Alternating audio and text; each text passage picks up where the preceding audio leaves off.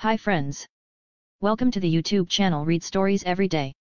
That time an American was reincarnated into another world by SP4DE.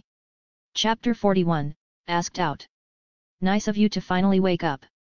The puppet master greeted me with a half smile. We shook hands on approach as he looked me up and down. I see you've gotten a bit more powerful. Good. As an elite, you have some catching up to do. So killing an authority 5 is a prerequisite for becoming one. It is. Just one is enough to get you on the list. You also earn points for each kill.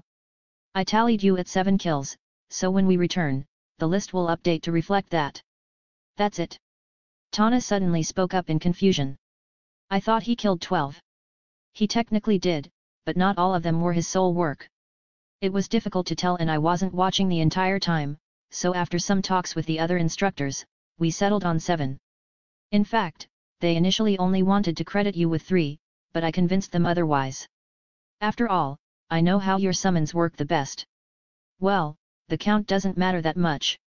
I'm just glad I'm actually an elite now. Do I get paid? No. Unfortunate. I clicked my tongue in playful disappointment, causing the puppet master to smirk. Then, I nodded to the walls. I was going to pick off some more stragglers. MM, go ahead. By the way, you elites will be heading out soon. There are already several reconnaissance missions lined up to be completed. This recent siege was by no means natural and we want to know why, so it's a perfect opportunity to put you all to work.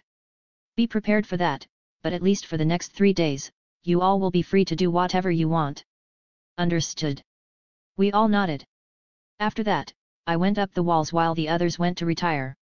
They had been working all day while I was asleep, so I couldn't expect them to accompany me. Heading up to the central tower, I got a good look at the entire battlefield. The dirt ground for the surrounding half mile was stained entirely red with blood. So many monsters had died that it had soaked the mud. Not even the walls were spared as the bottom half was covered in thousands of red streaks. Not only that, but the massive amount of corpses released a deathly rotten fog. The aura was so palpable that I felt suffocated even from the tower. I promptly took out my air mask, sealing it over the bottom half of my face before communing with a rifle and taking aim. Near the walls there were squads of soldiers moving corpses into massive piles and burning them. They surely couldn't just let them rot, and spells made for easy disposal but beyond I could spot lots of scavengers and lingering beasts. Some were stalking the soldiers while others were feeding on their dead kin. While there were guards making sure the disposal teams weren't attacked, they also weren't proactively attacking themselves. I was perfect for the job, so I didn't hesitate to pull the trigger and get to work. However, this time, I didn't have Umara with me. So when my gun exploded with power, everyone on base heard it. Boom! The shockwave rang the ears of the soldiers in the vicinity and startled everyone else. All attention was promptly turned to the tower. Nobody came to stop me though, so I continued. Like that, shots rang out for the next hour or so. It was only when the sun set that I had to stop since I couldn't see anything. I took a deep breath after releasing my weapon, sitting up and propping my back against the wall. I sat there for a bit, stewing in my thoughts while taking out a cigar and putting away my mask. Taking a few puffs helped revitalize my body. Staying still for hours on end, especially in the positions that I was in, made my body incredibly sore and stiff. I still felt the remnant aches from the first day of the siege. And then I had slept for an entire day, not making it much better. It was lucky that my mind felt brand new, giving me some relief. All alone in the tower, I was able to get some good alone time. Thinking back, I realized that this was the first time I truly came into contact with the scourge. I didn't really have the time to worry about first impressions, but perhaps the aftermath of the battle was better for that anyway. Just their mere presence was poisonous. In life, they sought nothing but the deaths of everyone at the base. And in death, they infected the landscape and spread their rotten scent. It would take several days of rotting for a normal animal to leave behind the horrid stench they did. But the scourge did so in a mere day. Not only that, but I could sense the poisonous aura coming from all of them. Within each of those bodies was toxic magic stemming from the black crystals, so it was spread in a subtle way that only those attuned to aura could make out. Where an ordinary person would merely want to vomit from the scent, a magus would feel like their soul was sickened from being near the terrible aura. They truly were a scourge. They were good for nothing, their only purpose to corrupt the world. At least animals were an integral part of nature, creating an irreplaceable balance. But this world would be better off without the scourge. No, it was more accurate to say that the scourge would need to be eradicated before this world could truly prosper. They were the nemesis of life itself. I now understood that fact, something I hadn't before. And I knew that there was far more to the scourge than just this. This siege was a mere glimpse of what they were capable of, nothing more than a tasting. The kingdom of Dragon Tongue, backed by the power of several immense magical organizations and the church, containing multiple authority 11 magi, had yet to actually defeat the scourge. This meant that there were beasts and enemies that I couldn't yet fathom. It was likely that the only reason humanity had survived until this point was through their intelligence, something that the vast majority of, if not all, the scourge beasts lacked. But, did the scourge also contain intelligent individuals? I thought back to the story about Rayla's late husband, who had been infected and turned into a scourge entity. Did he have or retain his intelligence? Although twisted, it was possible that he could still think with the capacity of a standard human. In that case, the scourge no doubt contained intelligent beings at the helm. It was the only way they could wage meaningful war against the humans, the only way to prevent the humans from systematically wiping them out. It went both ways, after all. If humanity could find a way to fight back against the scourge, then they could find a way to eradicate them. The fact that hadn't happened yet spoke volumes about the depth of the scourge. In that case, what was the scourge? Was it a virus, like a zombie virus? Was it a special species? I was more inclined to think that they were like zombies, but it also wasn't that simple. The more I thought about it, the more I realized how little I knew about the situation. I had learned a good amount about the scourge, but it was all public knowledge. After all, it was known that the scourge could infect humans. But there were also no mentions of intelligent scourge beasts. Maxwell had spoken of royals and unique beasts when discussing crowns. I had no idea what those were. Not even the Academy spoke of them. My knowledge was severely limited, which oddly seemed to piss me off but it became clear from today that the scourge was my existential enemy. For a while now I had been questioning the reason for my appearance in this world. I was brought here with my knowledge and a power that allowed me to summon historical armament from Earth. It seemed perfect for dealing with the scourge. I was beginning to think that they were the reason I was brought here. Perhaps I was some sort of saving grace, but then again, I had a hard time believing that I would be able to become powerful enough to bring about any significant change. How could one man fight against an army?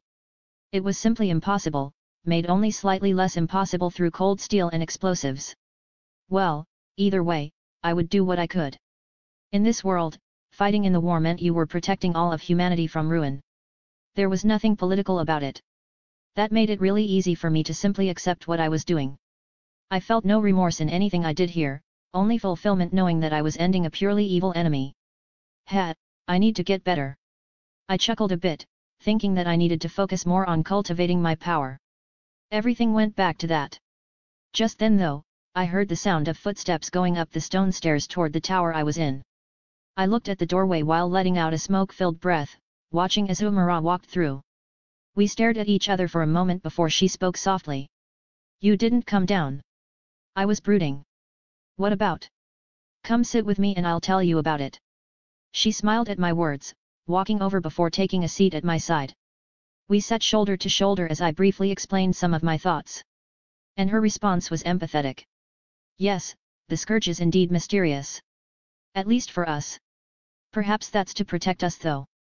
I mean, if everyone knew just how terrible their enemy was, how many people would really volunteer to fight? On the contrary, making them seem like mindless beasts that could be easily defended against would inspire the false bravado of everyone who merely wants the glory of the battle without the sacrifice or horror. That's a good way of putting it. My, how wise of you! I looked at her, slightly impressed. Coming from the perspective of naivety like myself, she displayed a great understanding of the possible unknown. She smiled a bit. Those words come from my mother. Oh. You know her. She's powerful and naturally well aware of the threat the scourge poses. The things she tells me about them usually spare the more intense details. She protects me, even though I don't want that. I'm under the impression that I should be exposed to it now and have time to process it. That way I can stay ahead of the curve. I can see the logic in that. I shrugged in understanding, but then I sighed. Unfortunately, age is also important. That and experience. Experiencing something traumatic before you are fit to cope with it can be permanently debilitating. Your mind may not have the ability to process it yet, whether you like it or not. Basically, if you trust your mother's objective judgment, then don't rush it. I do trust it. That's the only reason I no longer force the issue.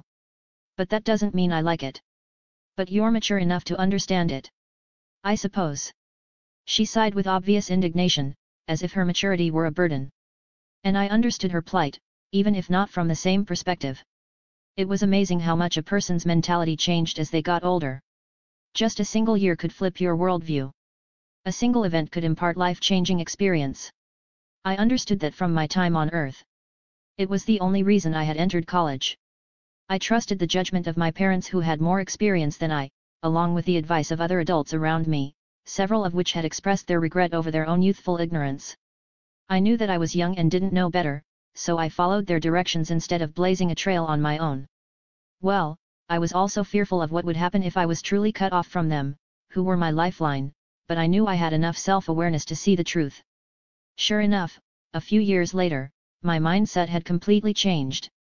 I no longer needed their guidance to see that their advice was true. It was amazing to experience my own evolving way of thought, as if I were spectating my own life. It seemed Umara was similar. However, after a few moments of silence between us, I could see her fidget and smile weirdly. She seemed nervous. My heart thrummed a bit harder, as if I could predict what was happening. In fact, I could sense her aura get a bit bolder, like she was about to do something big. She could hide little, my senses reading her like a book, only stopping short of being able to hear her exact thoughts. So. I was wondering. Uh-huh. Well, there really isn't anything to do here, but there is back at the capital. Anyway, I didn't know if you would be open to the thought of, maybe, going to a nice restaurant when we return. I was silent for a few moments while looking over, seeing Umara almost shiver in nervousness. Of course, the fact that I had just been asked out had me a bit fluttery as well, but not nearly as much as her. It was like her life and death hinged on my answer here. Seeing her like this was extraordinary, like seeing an extinct species. I never thought she could get this nervous. All of our interactions prior had been completely cool. She was always rather monotone, almost stoic, except for when she occasionally teased me. Of course, she wasn't robotic. She was just really low-key. Unlike Tana who wore her heart on her sleeve, she preferred to keep quiet and watch. So this was totally new, getting a glimpse of just how girlish she could be. It was unbearably cute. I couldn't even think of anything else as I barely stifled laughter. I felt gleeful. Oh lord, I've never seen you this nervous. Don't laugh. Please. I'm sorry. I've just never been asked out on a date before. It's kind of magical. I chuckled, thinking that I've always been the one on the other end. Was this how girls felt? Seeing how Umara looked like she was going to explode though, I did my best to control myself and ease her mind. Ahem. I think a date sounds great. Are you sure? Look at you, being all shy. I laughed as she tried to bury her face in her knees. After a moment though, I nudged her with my elbow. But we'll only be back at the capital in three weeks. That's too long. W what do you mean? I mean that I like you right now and don't want to wait three weeks just to go on a date. Granted, being on a military base does indeed make things difficult, but I'm sure we can figure something out. Who said we can't take a date to the recreation room? Oh oh. She let out a long relieved breath at my words, causing me to laugh again. Just like that, I had started a new relationship. I could see her smile really wide too. She even rocked back and forth like a kid who just got some candy. But then, she rubbed her chin. I'm not sure about a date to the recreation room. Eh, we'll figure something out. For now let's go eat. I stood before reaching out and grabbing her hand, pulling her up to her feet and out of the tower. We headed to the mess hall where they were serving dinner. Very few people were there, so we had some alone time while eating. During that time Umara seemed to calm herself down, returning to her usual quiet self. But as I sat across from her, I couldn't stop smiling, constantly thinking back to how she went about asking me out. I even laughed a few times, causing her to cover her face with her hands. Ah, how cute! End NBSP. End chapter 41, asked out. That time an American was reincarnated into another world by SP4DE. Chapter 42, Bounties. The day after that exciting night, I met back up with my squad. Of course, seeing Umara again was fun. It was like I was teasing her with every glance I gave her, just the two of us aware of what was different. I had a smile on my face all day while she tried to remain as inconspicuous as possible. Part of me just wanted to go up and give her a kiss on the cheek, just to embarrass her. But I held myself back. Although I hadn't grown up in this world, enough time and interaction had made me understand that social customs weren't the same as America on Earth. Everyone was generally more reserved and modest, more so resembling 20th century America rather than the 21st century. This meant that there wouldn't be any sex after the third date. Hell, I wouldn't be surprised if we barely started kissing by that point. I understood that everything would move slower. Not that this changed the way I thought about things. From my experience, I was used to things moving much faster.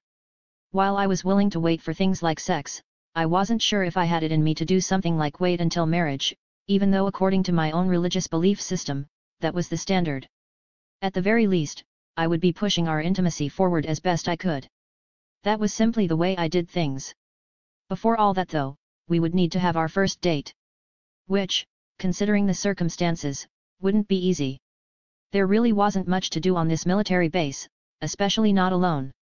The recreation room always had people in it and I wasn't interested in having our date in a room full of sweaty knights. There weren't any restaurants, clubs, or any other fun places to go either. In fact, the best candidate for a date given the bare requirements was probably the chapel.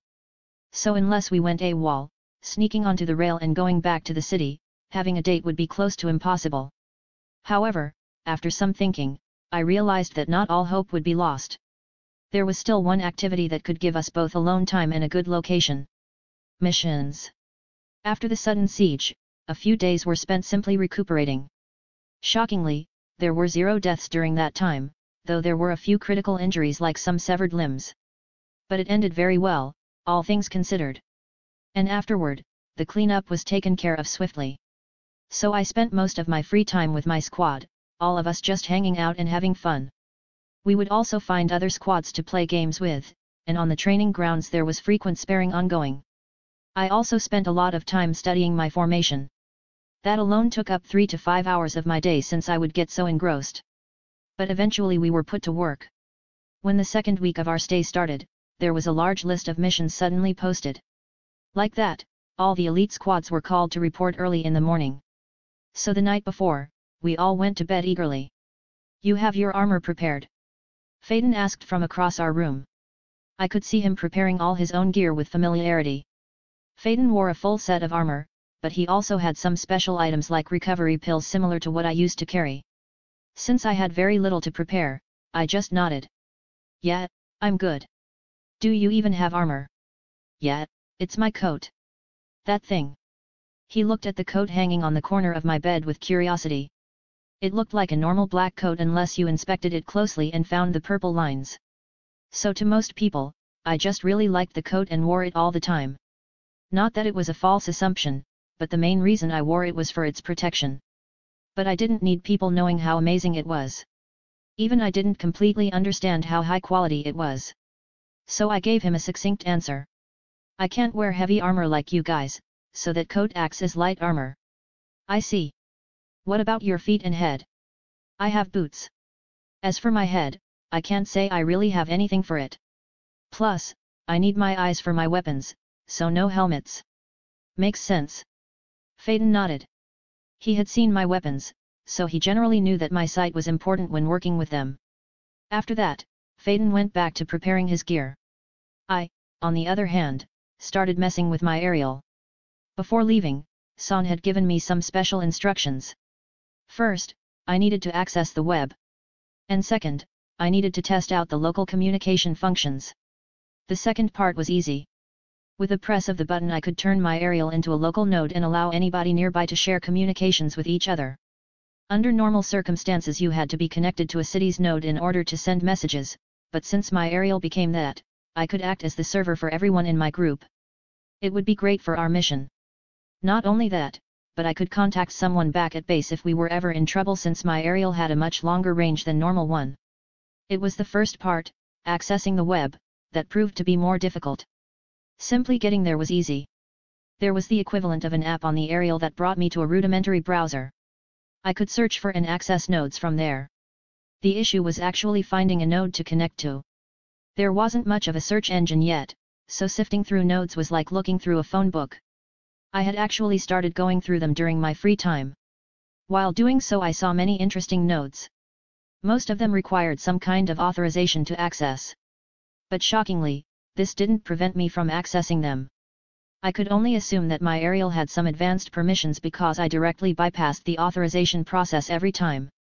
Because of that, I actually managed to view the Magisterium's node that held hundreds of research documents and information. I didn't go through it all but did indeed stash the name of the node for later. There were many others just like it including some shady private nodes that I didn't care to stick around in. But above all these, I kept an eye out for my main target. And while Faden went to bed, I actually found it. Black Spider Repository. I mumbled while clicking to access the node, and without delay, I was allowed access. A website appeared in front of my eyes, one with several different pages that ranged from forums to the big list of bounties. I went straight to look at the bounties, and sure enough, I found myself on there. Below my portrait was the 40,000 coin bounty as well as my personal details. But below that was a page dedicated to information on my whereabouts. There wasn't much on that page other than the fact that I had left the magisterium for a trip. Beyond that, it was blank. It felt weird looking at a bounty for myself.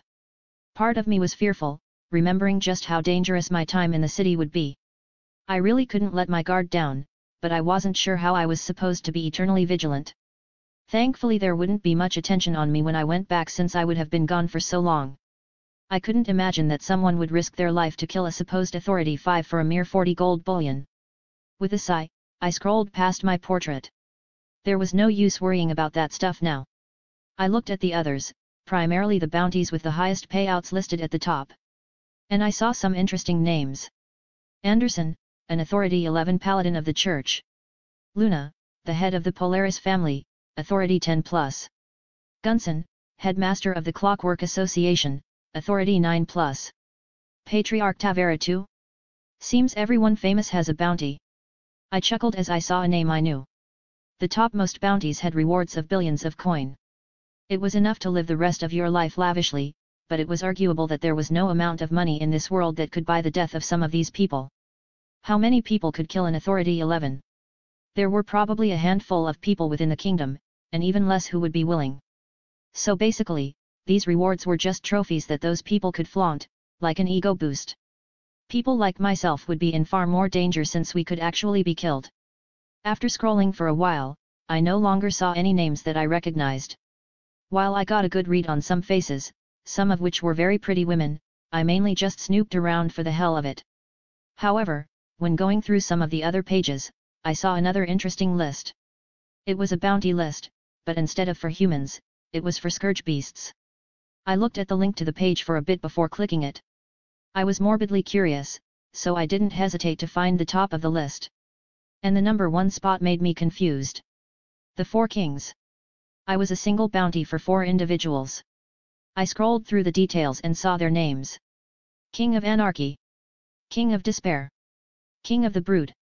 King of Unholy Light. These were the titles of the four strongest beings of the Scourge.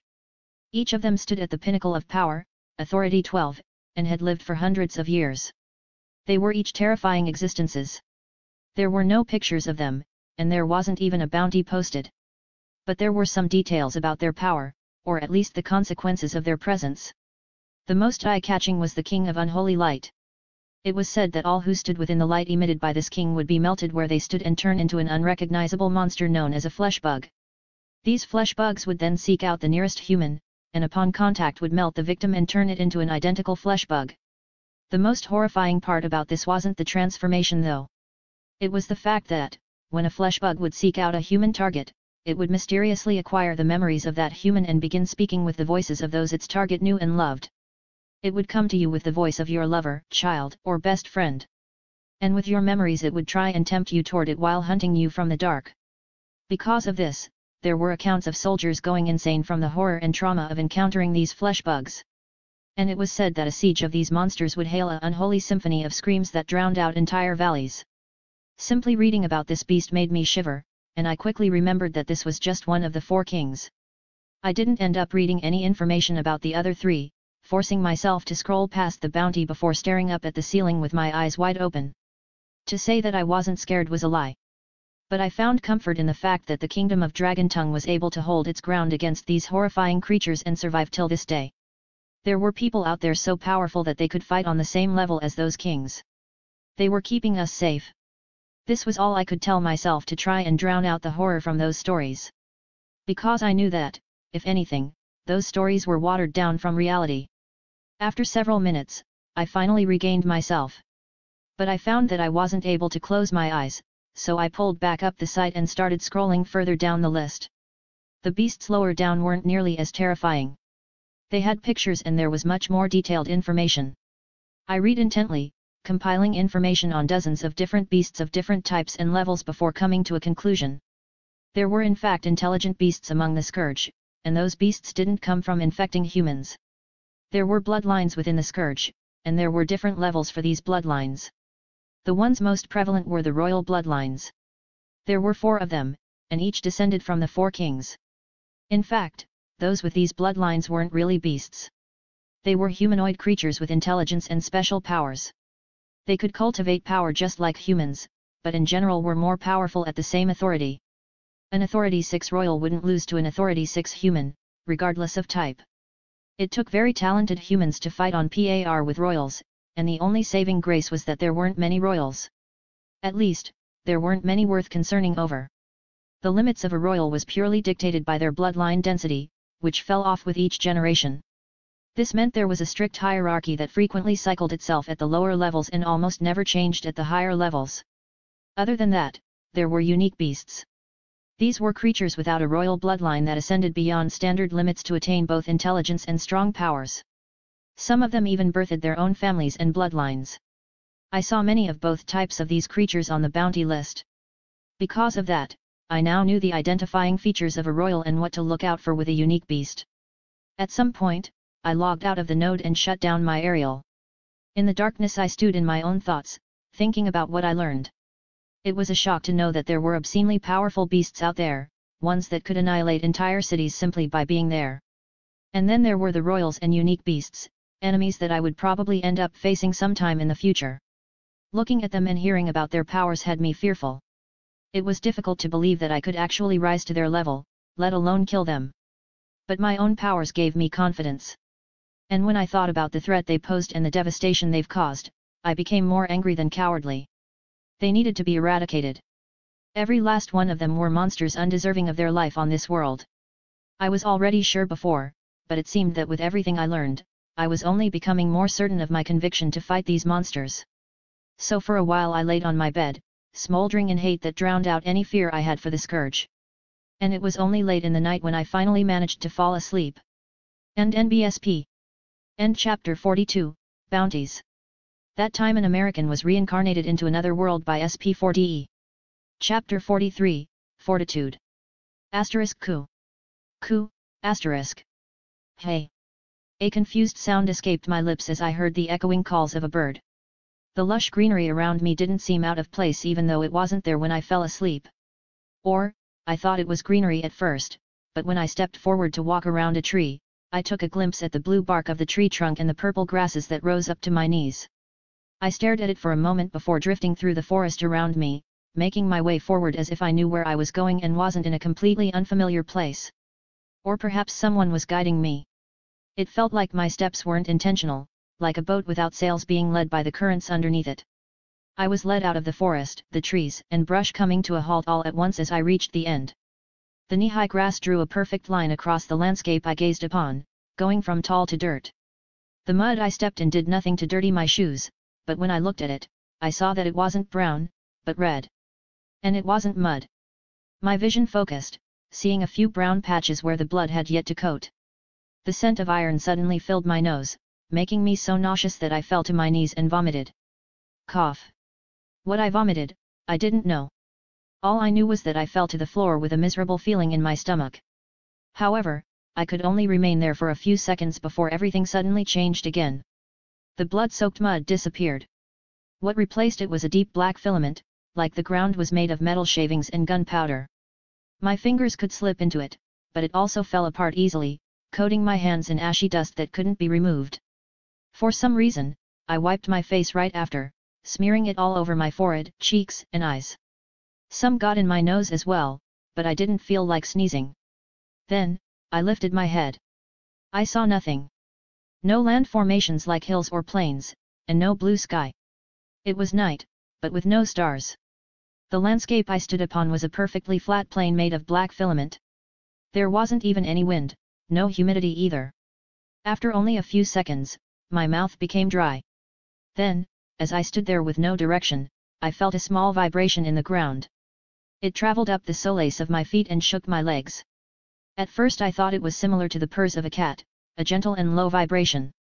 But it didn't stop, and over time, it jumped in intensity. It soon sounded like the growls of a tiger or lion. Then it got loud, sounding like a jackhammer that caused earthquakes. After that, all I could hear was screaming that shook the skies and ground, threatening to throw me off my feet. My heart rate skyrocketed. It felt like I was fighting for my life even though I couldn't see the enemy. It felt like something was coming, yet just its mere presence in the area was sowing havoc and chaos. I got angry, irrationally so. It felt like I needed someone, something, to appear in front of me so I could kill it. And then, I felt something behind me. So I turned around with a twisted face, a low battle cry escaping my lips as I prepared myself for battle. But what I saw instantly washed away all feelings of wrath or battle. It was an ugly being. Its amalgamated torso carried six arms with no symmetry, as if they were sewn randomly across its body. It also had four legs, one of a lion, one of a lizard, and two hind legs with talons and it had two heads, one of a human, and one of what I could only describe as a pile of flesh. The human head had no eyes and a mouth sewn shut. It only had two slits for a nose and many more scars that twisted its visage. And the mound of flesh had six eyes and three mouths, each mouth having two tongues. It was a horrible sight, and just gazing upon it induced catastrophic fear that made my eyes bleed and legs shake in weakness. But I didn't buckle. That was because, just when I felt so weak that I couldn't so much as stand, a pair of arms reached out from behind. They hugged my chest, helping me stay on my feet and wash away the fear inside me. It felt so comforting, like the embrace of a mother. My mind turned clear with its power, and yet when I continued to stare at that abomination in front of me, I still felt deep fear. I knew that I couldn't kill it. Despite the courage that I mustered to so much as face it, I knew that it was impossible to harm it. So I spoke to the being behind me.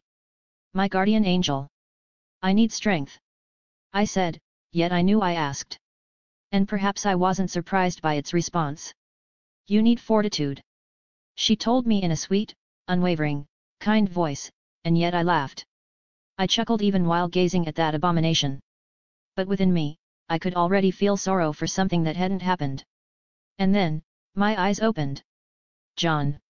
I looked up, seeing the ceiling as well as Faden's concerned face to the side. He turned away when he noticed me looking over. Then, I felt a bit of moisture, lifting my fingers to my eyes to find tears. Part of me wanted to act confused, but I knew what I had just seen and felt. I couldn't deny it, even if it was a dream. So I just sat up, the room filled with an awkward silence I didn't care to acknowledge. I sat there for several minutes as Faden dressed himself in his armor. I didn't move to do anything, simply thinking. That was, until Faden finished and spoke. Our briefing is in an hour. Are you coming to eat? Yet. I'll be right out. All right. Take your time. I could hear the attempted comfort in his words as he left. Soon enough, I was all alone.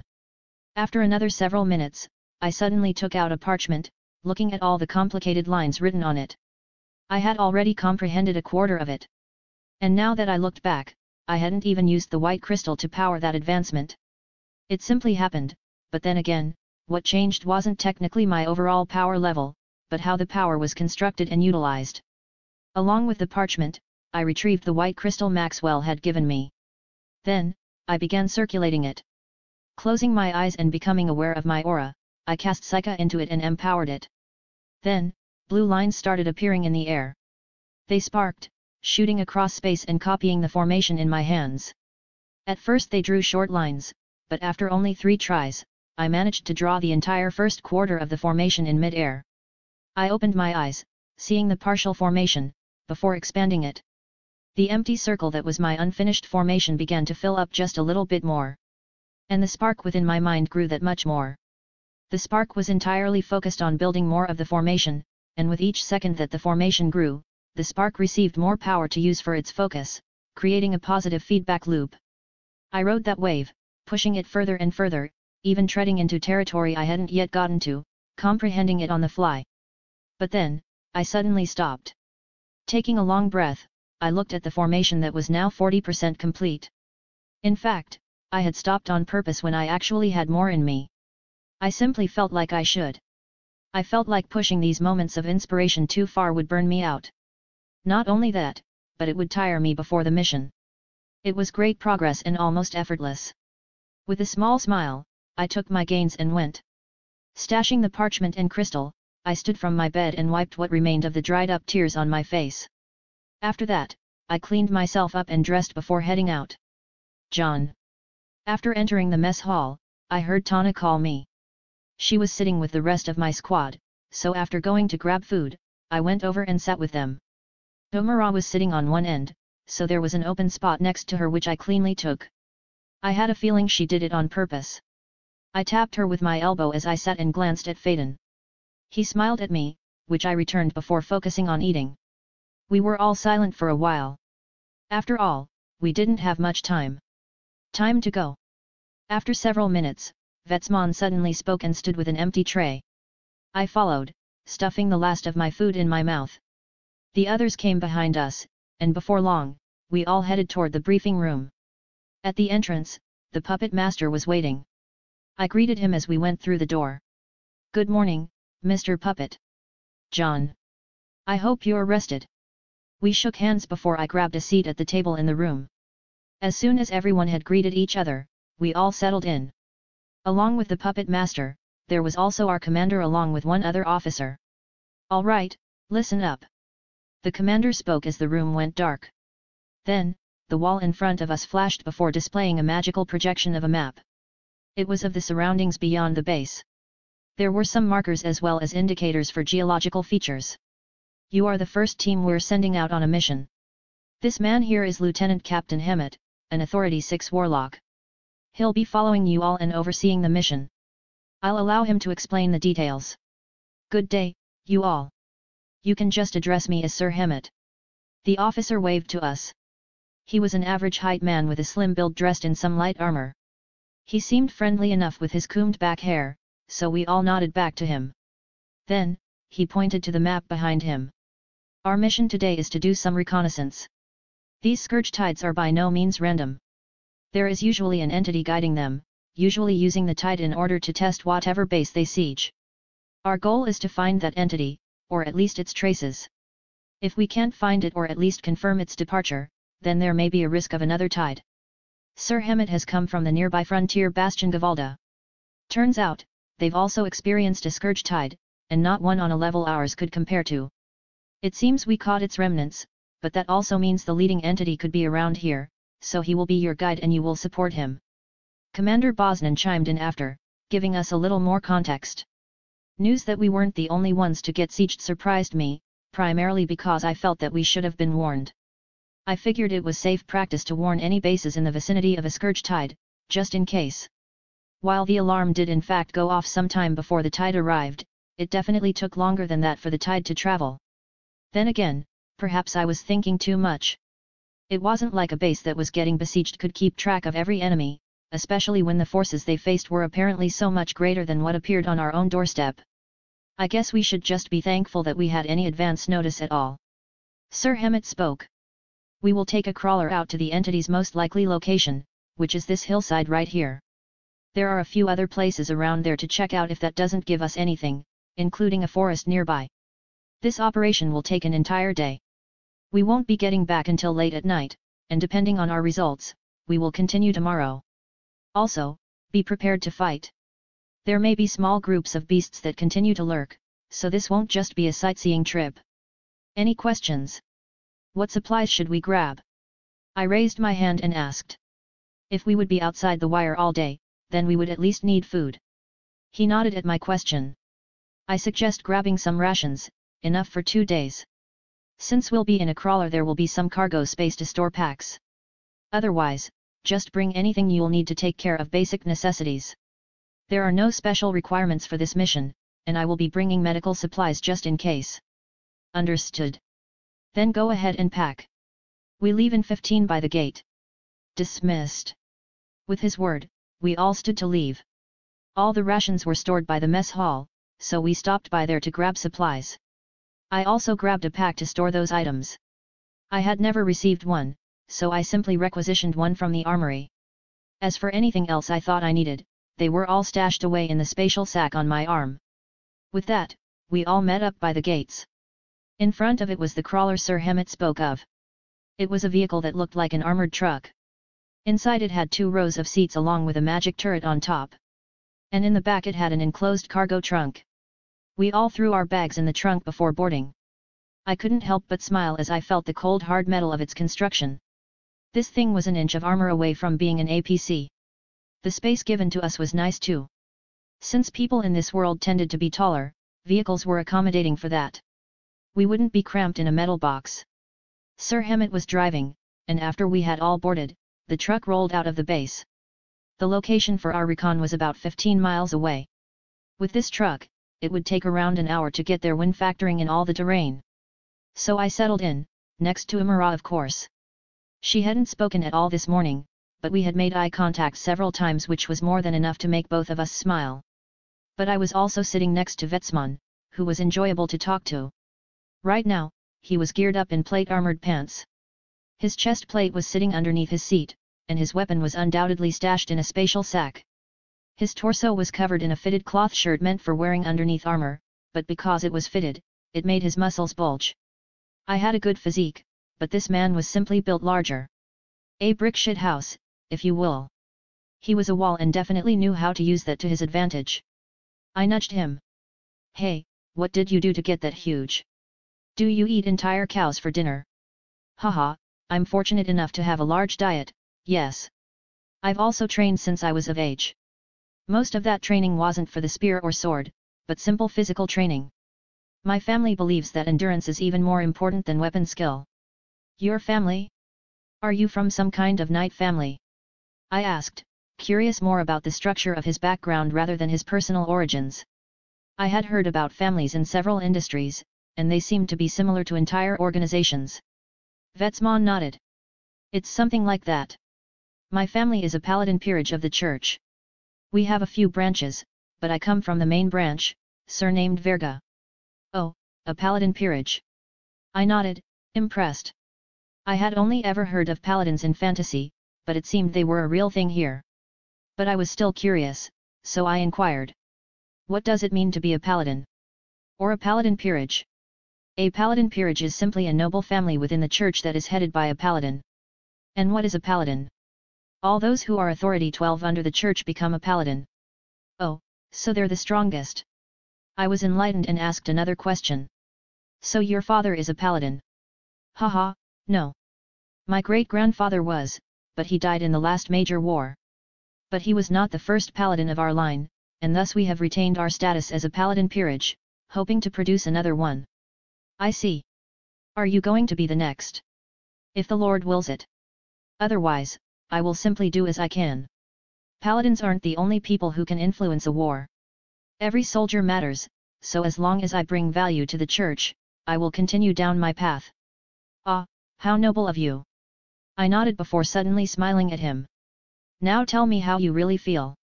Hey now, why would I expose myself? He responded cheekily, causing us to laugh. After that we continued talking to pass the time. Tana and the others chimed in at some point too, spilling details about their families and origins. And soon enough, we started to approach our target area. End NBSP. End Chapter 43, Fortitude. That time an American was reincarnated into another world by SP4DE. Chapter 44, Contact. At some point the crawler rolled off-road. We tread through some plains before heading up a large hill and finally coming to a stop. Everyone disembarked and scanned the surroundings. There was no immediate threat, but we still had to be wary. The entity we were hunting wouldn't be alone, that much we knew. However, we also didn't know how powerful it was. Since we weren't going in with much intelligence, an extra layer of caution was warranted. But after several minutes of looking around, nothing was found.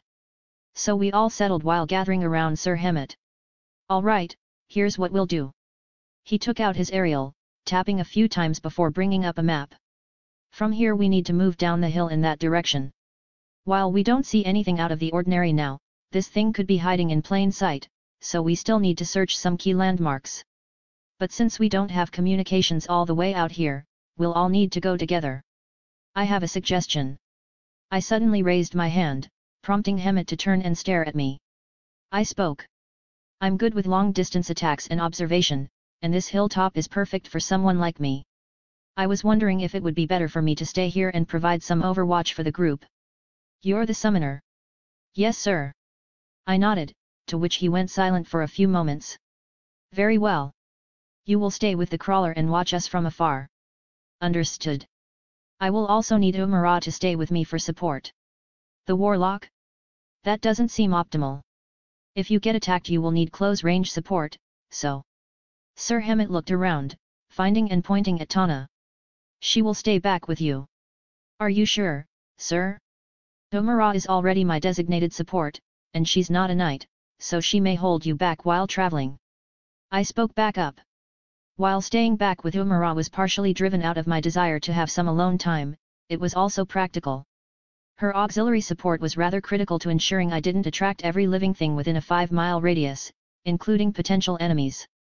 We complemented each other well, even if there was truth to Hemet's statement. But his only response came with a frown. Please don't question my decision.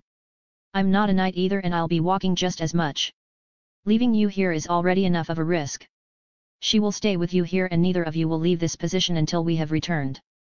Am I clear? Yes. I responded dully, my mood having been quickly ruined. I get it. He was military, I was just a school kid, and I was talking back. He didn't even need to explain himself, but he was being lenient and exercising some patience, even if it was thin. He sure wasn't like that in the briefing room. It amazed me how different he had become in just an hour. Perhaps he was just locked in for the mission, but it still pissed me off. I was glad I was taller, since I was able to look down on him as he tried to seem intimidating while exercising his authority. Eventually he turned away. Gear up! We're heading out as soon as possible. With those words, everyone else went to go and make final preparations. As they did so though, I went up to them. It was time to test out my aerial's main function, the mobile node. With the built-in program, I was able to create a node on the fly and allow others to connect to it. This wasn't simply something like a website that gave information, but a transceiver that could send and receive data. The transmission range of this aerial was far higher than the standard ones, meaning I could connect to everyone even when they were miles away. And with myself as the medium, they could all maintain contact with each other. So I went over to everyone and helped them connect to my node. It took a few minutes, but before long, everyone was connected and could send messages to each other. I could even create a large group chat, which I did, allowing us to pool our messages. Of course, Hemet wasn't invited. My current mood could basically be summed up with the phrase, fuck that guy. Umara also came up to me one last time before leaving, giving me a wry smile. You didn't have to talk back for me. It wasn't for you, but for everyone. I work best with you. But since that's not happening, we better hope I don't need to step in. Otherwise, any nearby enemies will come flocking. Keep that in mind. Right. I will. She nodded seriously. Such a thing was a very real possibility and could end badly if not handled properly. With that, the group separated. Vetsmon, Faden and Umara left with Hemet while Tana and I stayed behind. We watched as they descended the hill. Their first landmark to investigate was actually the side of the hill itself. It was completely covered in scattered rock formations including massive boulders and deep crevices. The entity could be hiding anywhere inside, and they would need to check. Of course, they wouldn't be searching blindly. That's why Hemet was here. Using detection spells, they could scan an area with pulses of mana, greatly accelerating their search speed. They wouldn't be going that far from us at the top. At the least, they would always be within my range. Before finding a rock to perch myself on though, I went around the crawler, taking a peek at the driver's seat. And its layout surprised me. It looked similar to cars on Earth. There was a steering wheel, a key to start it, and pedals on the floor for acceleration and braking. Of course, Hemet didn't leave the key behind, so I unfortunately couldn't play around. Still, it was good to know that vehicles were similar to what I knew. Then again, the design was rather intuitive anyway. Not surprising that it was universal. It was only then that I found a rock, brought out a seat for myself, and got comfortable. Taking out my rifle, I could see the group gradually making their way down the hill through my scope. While doing that, I lifted my aerial and started speaking. Come in, squad. Comms check. Can you hear me?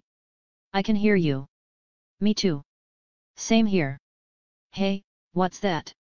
I smiled as I heard Hemet's voice through someone else's aerial, speaking again. Just another form of communication, sir. I'll inform you all if I spot anything out of the ordinary. For now, you're clear. Let me know if you need anything else. Will do. Good to know my back is being watched. Vetsman smiled while looking back up the hill, waving once toward us before continuing down. And I could see Hemet's weird face as he wasn't sure what to say. Yeah, that's right asshole. You didn't get invited to the party. I smiled in petty victory. After that though, we all settled in for the long haul. For me, I just had to hurry up and wait. And since I was watching, Tana decided to kick back and relax. My, how I wished Umara was here. We could be talking and keeping each other company, but our asshole superior decided to get in the way. Well, I wouldn't neglect my job, but I still wasn't happy.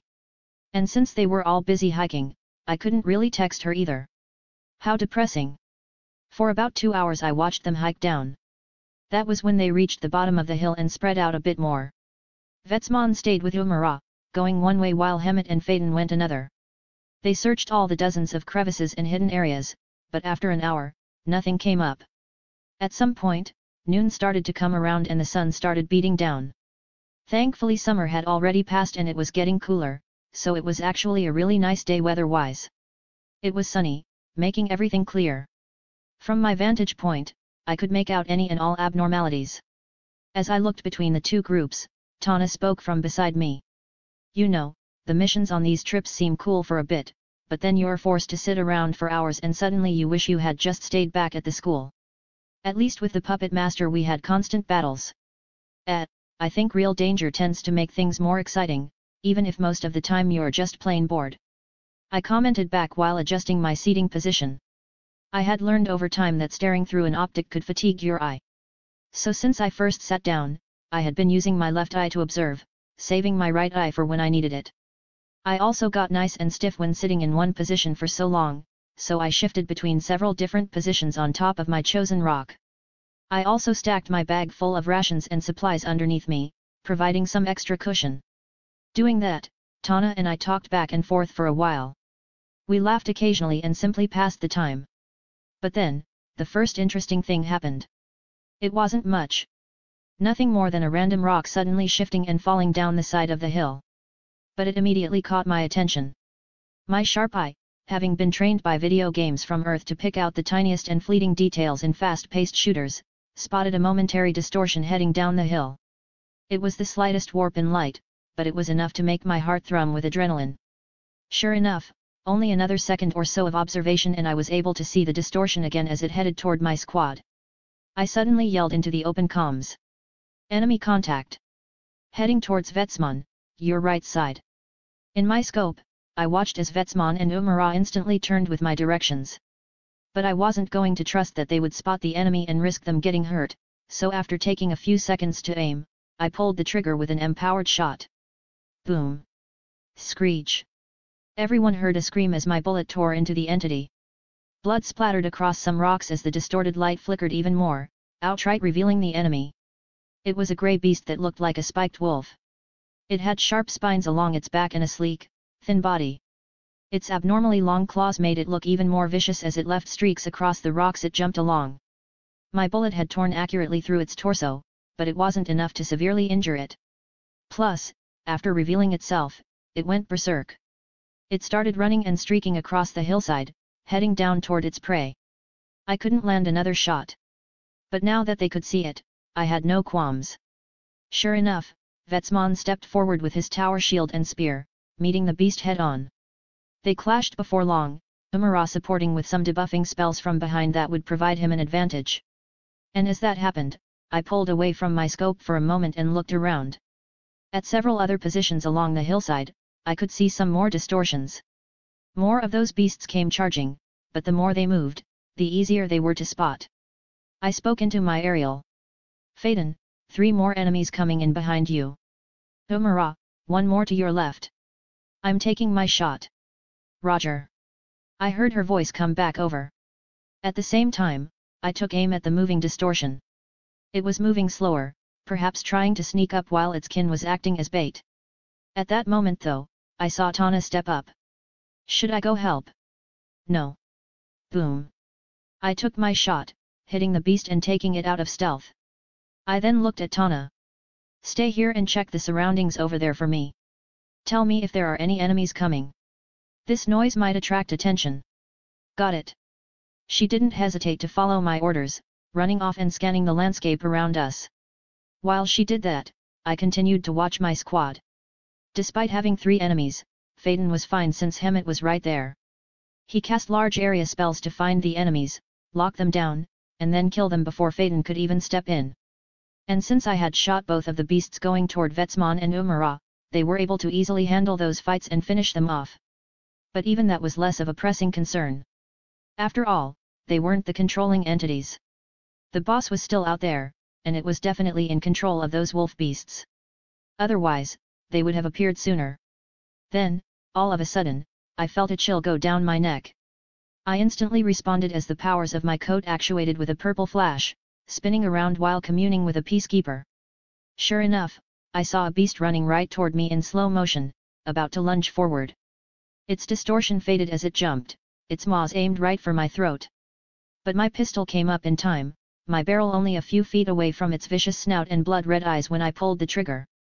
Bang! Ack! The body went limp as my empowered bullet tore straight through its skull, but the body continued straight toward me, falling on top of me. I felt its claws and spine stab me in a few places not covered by my coat.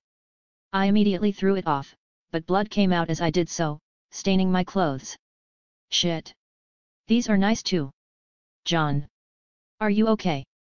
Tana came running over, sliding to my side with worry all over her face as if I was going to die. I waved her away. I'm fine. Keep watching out for enemies. Are you sure? Let me get the med kit. No, I got it. How could I not have my own medical supplies on me? I had been injured too many times to count in the trenches, so I had gotten pretty good at packing wounds. Taking out some gauze and wrap, I felt around and stuffed the wounds based on how much it bled. Anything that wasn't pouring was left alone. And after taking care of that, I went right back to work. Sending Tana off, I looked back down, seeing the finished battles. However, even though the wolves were dead, Hemet was still moving. I found the entity. It's running, so I'll chase. You all stay. Just like that, Hemet used magic to give chase. Right after that, I saw a figure running toward a hill opposite to us. I took aim at it, but it was too far to hit. It may only have been 400 or 500 meters away, but that was beyond the effective range of this weapon. This rifle was pre-World War, after all. It wasn't a modern sniper. Besides, Hemet could take care of it. And since he was gone, I took command. Everyone, head back up here and regroup. John. Right as I spoke, Tana suddenly shouted. I had a bad feeling. I see enemies coming toward us. There's a lot. Fantastic. I scowled. You see, Hemet? This is why you listen to me. You think you know how I operate better than I do? You think my judgment was just shit out of my ass? And now there's a horde coming. How wonderful! Everyone, double time. Put that training to work. I shouted while changing positions, setting my sights on the small horde of stray beasts heading toward us from the bottom of the hill. And I opened fire, cursing our stupid commanding officer. End NBSP. End Chapter 44, Contact. That time an American was reincarnated into another world by SP4DE. Chapter 45, Alone Time. Faden and Vetsmon were quick to ascend the hill. Knights had it easy like that with their ridiculous strength. And Vetsmon carried Umara so she didn't get left behind. So before long, we had all regrouped and prepared. Boom! The explosions coming from my guns echoed across the landscape. I was shooting as fast as I could, but although most of the beasts were weak, there were plenty of them. And after my squad assembled around me, I paused and took out a cigar, speaking while lighting it. Vetsmon, Faden. You two will take point in front of us. Faden, support Vetsmon. Tana, you're going to support them both. Take care of anything they can't. Understood. They all nodded and moved forward. There was a good amount of space on top of this hill, so they wouldn't have to fight on sloped terrain. But all that space left room for beasts to fill. If we weren't careful, we would get surrounded. Well, not like we hadn't faced these scenarios before with the puppet master. There were very few times that any of the teams I worked with ever failed, no matter the situation. More often than not, I took command. As the observation specialist, I tended to have a better grasp on the overall situation. Of course, finding people who would trust me in the first place was more of a concern. Thankfully, Vetsman and Faden took to my orders easily despite this being the first real time we had ever worked together. Or perhaps it was just how irritated I sounded. Right now, I wasn't in the position where I would take no for an answer. After the knights moved up, I looked toward my trusty warlock. Umara, you're responsible for crowd control. Don't let our vanguard get surrounded. Roger. She nodded and moved up, beginning to cast spells. As for myself, well, my job didn't need to be stated. Climbing on top of the crawler, I got a nice view of everyone's backs as well as the slope down the hill. A rough estimation yielded a hundred or two beasts. And they weren't all coming in one large group. They were scattered and had no sense of unity, attacking in small waves. By the time I was ready, Vetsman had already made first contact. He greeted the first beast with the tip of his spear, outright skewering it and throwing it away, almost slicing it in half from that action alone. And Faden followed up by simply slashing a beast across the face when it lunged at him, killing it instantly. That's when I suddenly remembered. Vetsman and Faden were Authority 5. Only six people in the elites were Authority 5, and they were two of them. The rest were Authority 4, with myself occupying the bottommost rung. So those two had no issue dealing with beasts under their level. They could even fight Authority 5's head-on, those behemoths I had seen during the siege being some of them. So while an entire army of beasts could overwhelm a single person, that didn't mean the person would fall. It simply meant they would take a bit more time to clear them out. I understood quickly that Vetsman and Faden didn't need much help. Plus, they had the support of Tana and Umara who would only make it easier for them to kill faster. And that wasn't to mention me, their overwatch who would pick off a few to keep their backs safe. The only issue was, beasts only continued to come. In the distance, I could see faint dots heading toward us. They were still scattered, but there were a lot of them. At least another few hundred by my count. I felt a headache come on even as my cigar worked to alleviate my wounds. If that asshole had only listened. Now I was stuck cleaning up the mess. Taking aim, I decided I could work on my marksmanship here, picking off distant targets. My bullets sailed over the heads of my squad, some bullets missing, others finding their mark. Over time, as I communed with more weapons, I received the experiences of more people. Sometimes during my training, I would take a dive into the dimensions of my authorities and sift around for more weapons to benefit from. Of course, cursory communions didn't garner that much. I found that the more I used a weapon, the more I would deepen the connection and the more experience I would receive. And so far, I had used this Remington Lee scoped rifle quite a bit. My connection with it was deeper than any other gun I had and the experiences I received from it were invaluable. I wasn't a marksman before coming to this world.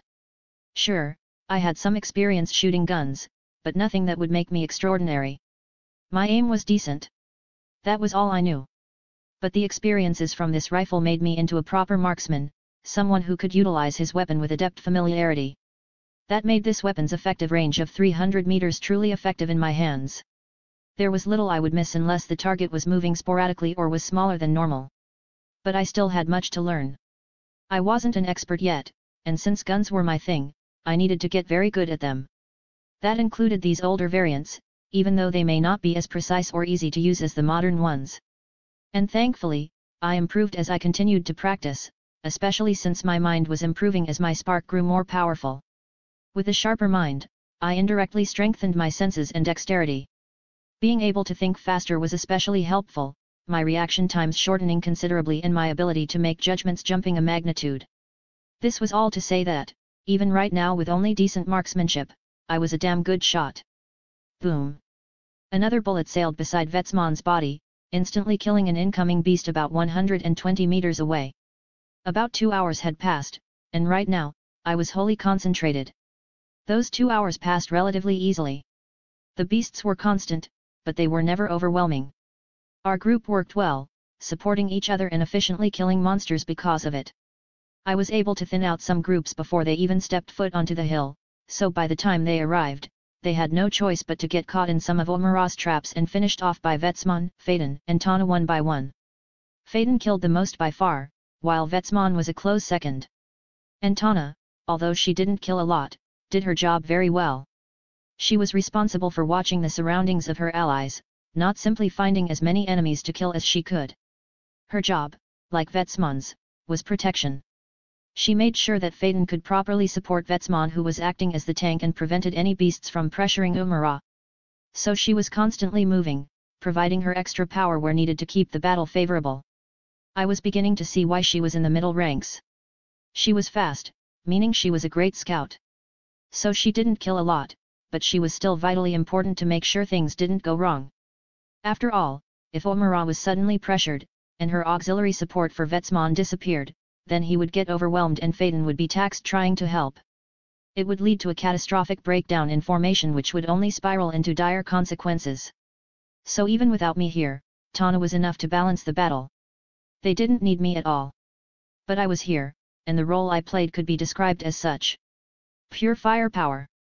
My job was to deal as much damage as possible without getting in the way. In fact, I didn't even need to observe much. That was technically Tana's job and commanding the team could also technically be left to Vetsman. I was simply sheer killing power added on top of the team's skill set. I knew that well and wasn't under the delusion that I could do any more than that. So I wanted to get good at my job, because although I was technically only extra power, I could also dictate the flow of a battle. I could make victories absolute and turn losses into wins. I could save lives and dampen casualties. So I wasn't needed, but I was self-aware enough to know that my power would be desired in any team in all battles. And expectations would be placed upon me because of that, expectations that would bear the weight of not just victory, but the lives of those around me. So lacking skill in the only job I had wasn't allowed. I had to become a master at what I did as soon as I could do so. I had to improve at every step, using the experiences I gained at every level of power to better myself. Boom! I fired, catching a glimpse of the dead beast on the other end before shifting my sights to another.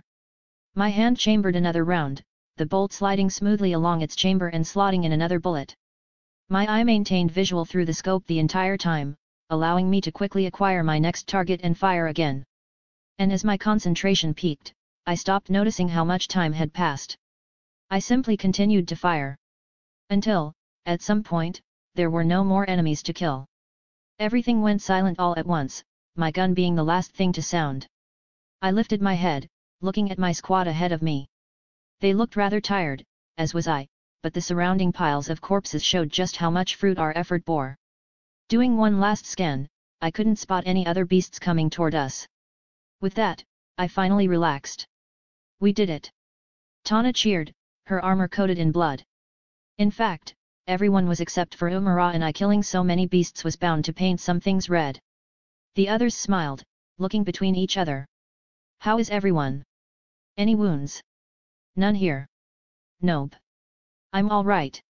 After Vetsman asked, everyone shook their heads. I was the only one not to though. Having been reminded and with my tunnel vision fading, all the pain of my wounds set in again. They weren't bad, just a bunch of shallow stab wounds and some lacerations.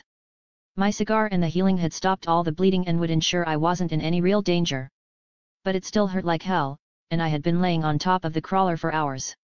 Combined with the exhausting target practice, I didn't feel like I could move. I groaned. I could actually use some help. Oh, right. John's hurt. What? With Tana's shout, everyone came rushing over. Vetsman directly jumped up onto the crawler and checked me out. I waved when he landed next to me. I'm fine, just some wounds from that wolf beast earlier. I got poked. Your clothes are bloody. Wait, you've had these for that long. Well, not like I was going to sew them up on the spot. I took care of what I needed to. Here, just get me down. I put my hand out, prompting Vetsman to take it and help me up. He helped me down the crawler and set me down inside of it. Shining a light on my front side revealed my nice white shirt entirely red with blood, along with my pants despite it being a bit less obvious. It wasn't the first time I had gone so long without treatment, but unfortunately it only got more painful the more time passed without it getting at least cleaned and patched.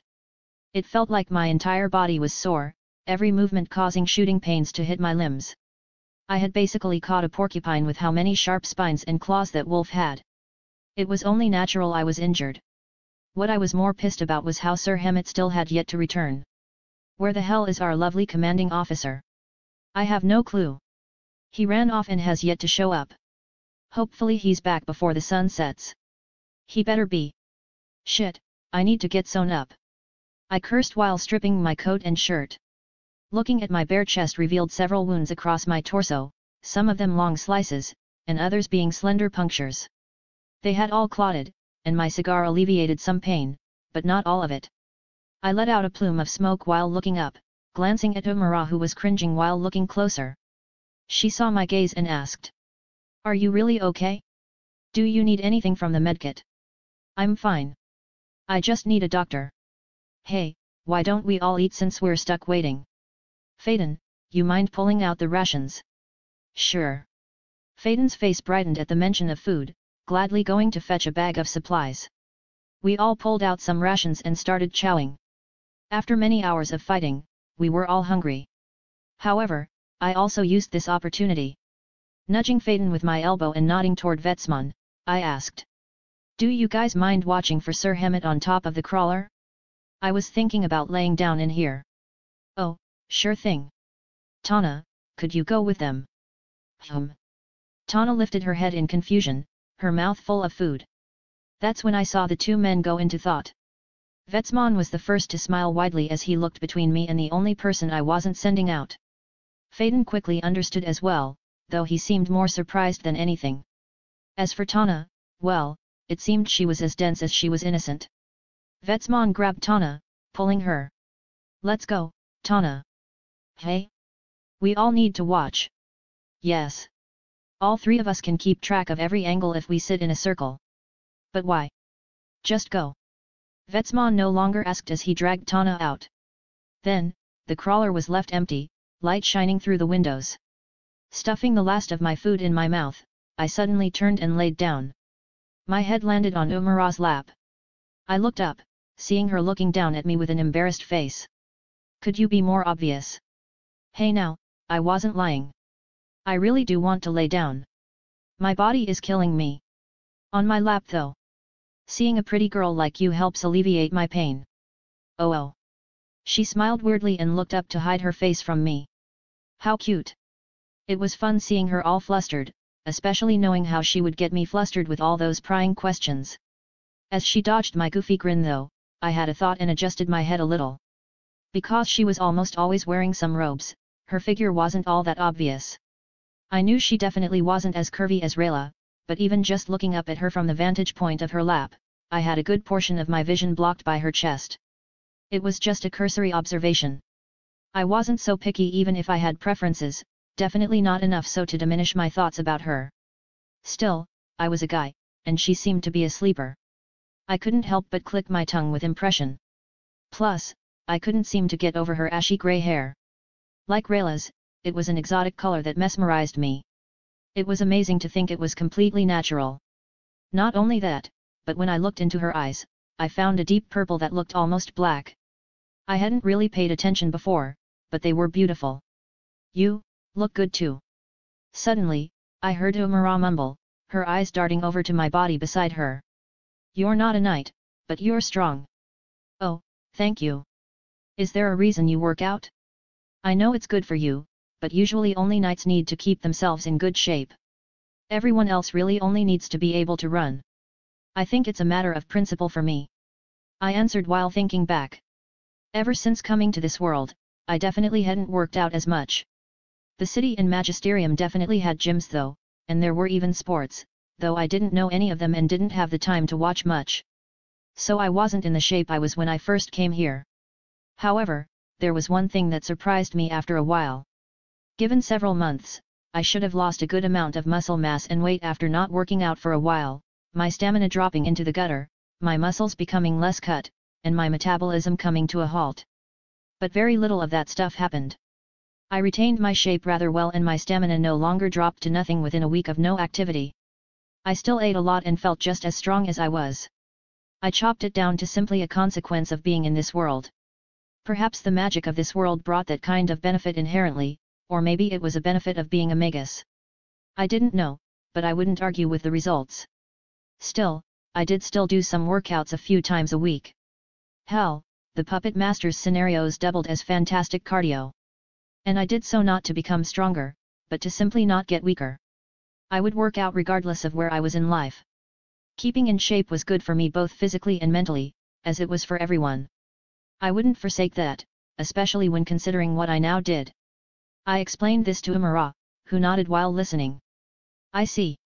That's good. Not that we have a choice sometimes. True. Sometimes those scenarios are nothing but a running workout. I think the puppet master makes us do those on purpose. Hee hee, yet. And you? What do you do to keep yourself fit? Or are you just naturally built this way? I poked her stomach, feeling what seemed to be some pretty tight ABS. She giggled and blocked me. I don't do much, just some basic workouts. Even warlocks need to take care of themselves. I definitely don't have ABS like yours. Saying that I felt Umara's hand move over and brush my belly with her fingers. My brows raised as she continued to stare a bit, but then, she frowned as her finger grazed the skin around one of my wounds. They look bad. You've got a lot of scars too. Are you really okay? I'm fine. They're just sore. I'll be better once we finally get back to base. Saying that, I went quiet and shifted a bit, relaxing even further. Ah, how soothing. I smiled while nestling into Umara's lap a bit more. I heard her chuckle when I did, and then I felt some fingers run through my hair. Is this girl actually petting me? I felt her fingers comb my hair and straighten it out, her fingernails scratching my scalp. I felt tingly as she did that. Now I really was completely relaxed, almost enough to go to sleep. This went on for a while as she got more comfortable with what she was doing. I felt like I never wanted it to end. How unfortunate that I was hurt, otherwise I would be doing more than just laying on her lap. I felt a bit selfish being the only one getting treatment, but when I opened my eyes and looked at her, we both met with a smile. She seemed to be enjoying herself. That's when I heard the dreaded announcement. Sir Hemet is back. End NBSP. End chapter 45, Alone Time. That time an American was reincarnated into another world by SP4DE. Chapter 46, Novelty. Vetsman pounded on the crawler, his voice acting like a douse of cold water. My eyes opened as I frowned, looking straight up toward the ceiling. It took me a few seconds to mentally prepare myself, my mood worsening just thinking about Hemet. Fine. I got up, feeling my wounds get aggravated as I stood and cracked my neck. Domara got up with me, the two of us silent as I exited the crawler. Since I was shirtless and it was becoming evening, I was hit with a cool breeze that gave me goosebumps. But it felt good despite that, so I took some deep breaths to calm myself down. Vetsman looked at me with a smile, which turned a bit as I saw him check me out. That's a lot of wounds. And scars. Eh, comes with the job. So where is he? Over there. He pointed, and I saw a figure on an opposing hillside making its way toward us. He wasn't running or making any kind of haste, so it would be a while before he actually got here. I tapped Vetsman and pointed. Hey, you mind going over there and checking on him? We should make sure our commanding officer isn't horribly wounded. Sure. He nodded before bounding over there. I saw him traverse the entire distance in less than a minute, arriving by Hemet's side. They stopped and spoke to each other, and as they did so, I lifted my aerial to my mouth, speaking into the group channel. Vetsman, ask if we can get the keys for the crawler. I can drive it over. There was no response as they discussed for a little while longer. Then, I saw Hemet hand something over to Vetsman before he came running back. I looked over to Tana, Domara, and Faden. Load up. We're leaving. Roger. They moved with haste, packing everyone and loading into the vehicle. Then Vetsman arrived, handing the keys to me. He's wounded. Do you really know how to drive that thing? You mean they don't teach you? And I thought I was the uneducated one. Gimme. I grabbed the keys from Vetsman, smiling as I jumped into the driver's seat. The key wasn't a normal key. Instead, it was a keycard type object that you could slot into a holder next to the steering wheel. I threw it in, following the obvious patterns to point it straight, and watched as the dashboard glowed and the vehicle started. There were some mechanical parts on this crawler that generated some vibrations, so I could tell when it was ready to ride. Like that, I placed my hand on a stick located where the center console would be. From watching Hemet drive, I knew that these cars only had two gears, one for drive, and one for reverse. It was magically driven, so it was more similar to electric cars than gas cars. With that, I tapped the gas pedal, feeling the crawler move forward and instantly getting a feel for its power. Alright, here we go. My first time driving in this world started without a hitch.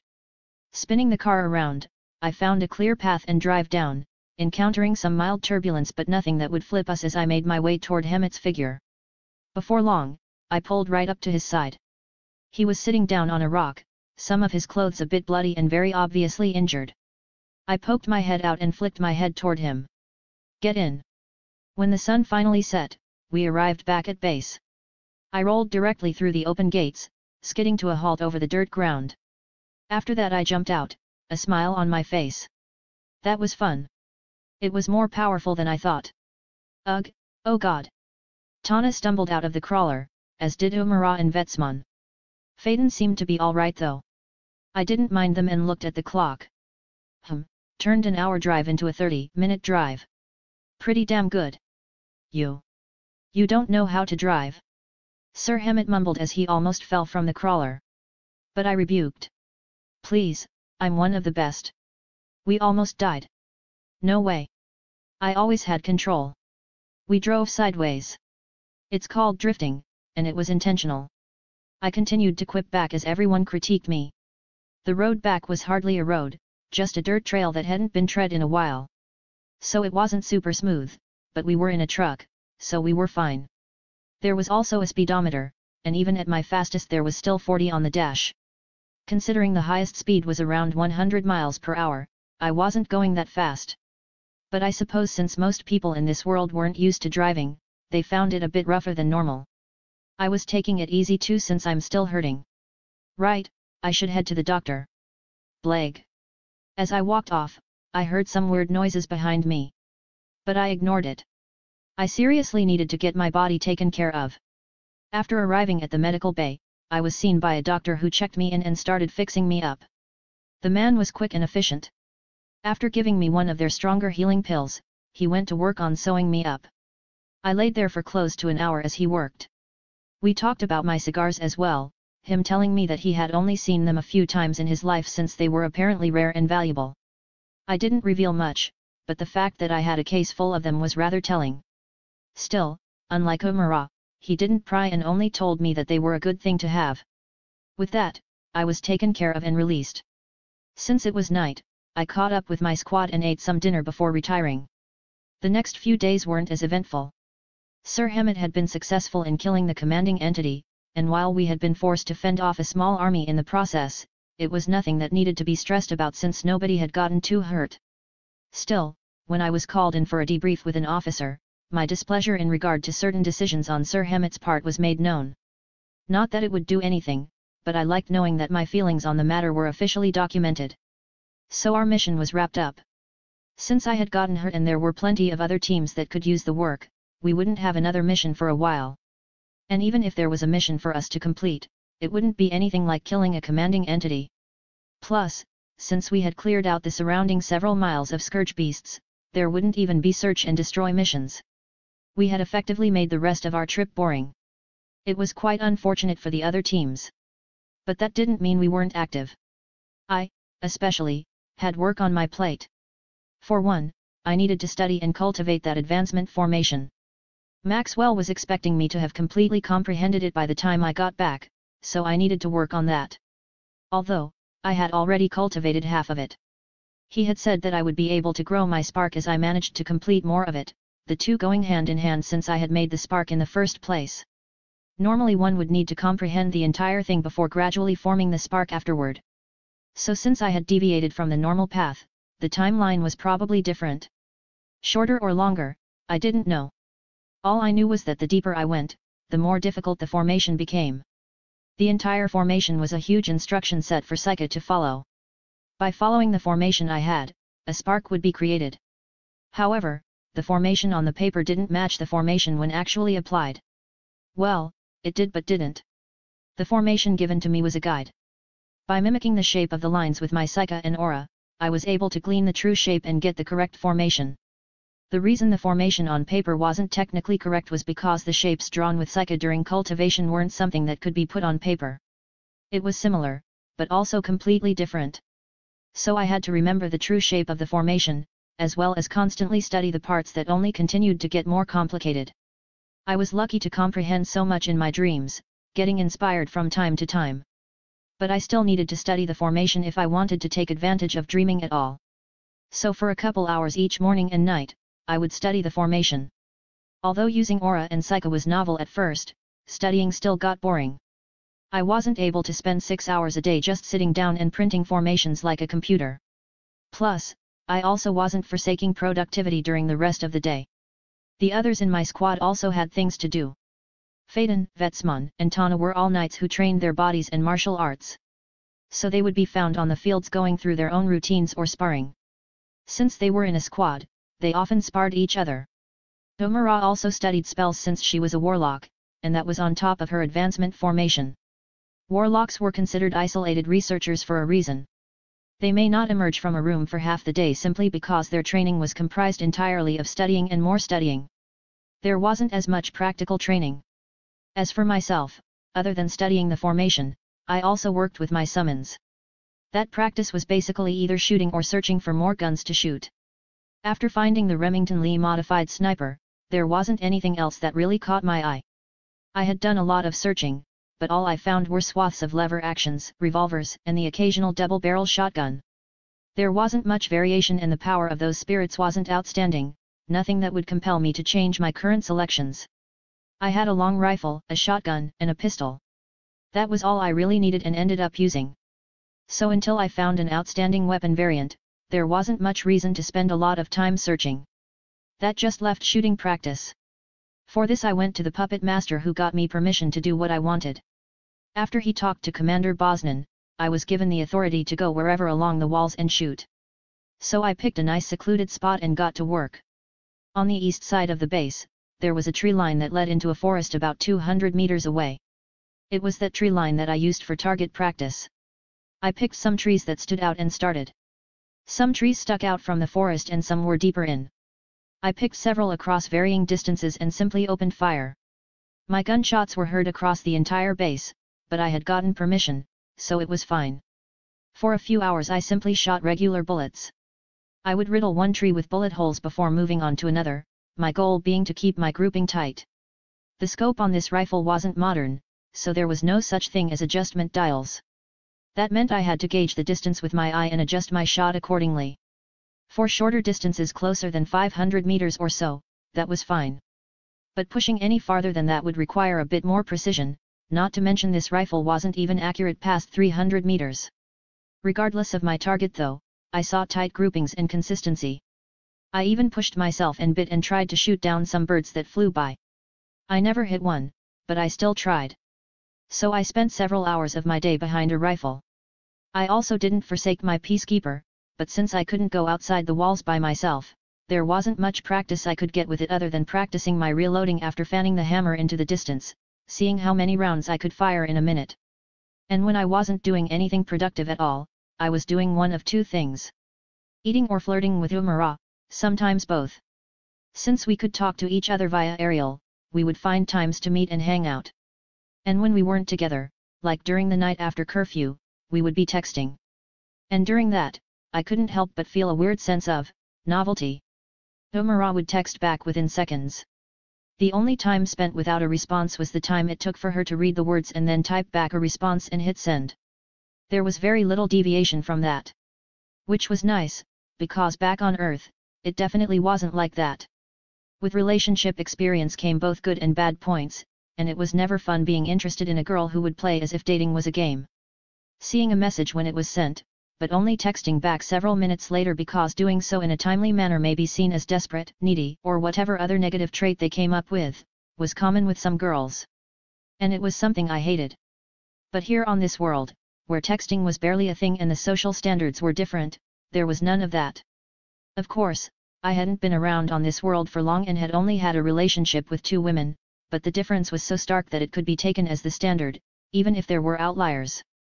When I texted Umara, she simply responded. How great was that? And our conversations seemed to go on endlessly, both via text and in person. We would tell stories, spill some harmless secrets, talk about family and all the quirks we loved and hated. It was all so fresh. Talking with her made me feel light. Although it was a new relationship and that made me a bit blind, every moment with her felt fun. I think the best part of it all was how she had come on to me first. It was clear that she liked me and I made it clear that I liked her. There was no suspense, and that made everything flow so smoothly. Neither of us had to be reserved out of fear, every interaction and moment of intimacy advancing our relationship forward. It was so different from everything I had experienced on Earth, which made it even more enjoyable. In fact, it was so enjoyable that the days flew by quicker than I could keep up with.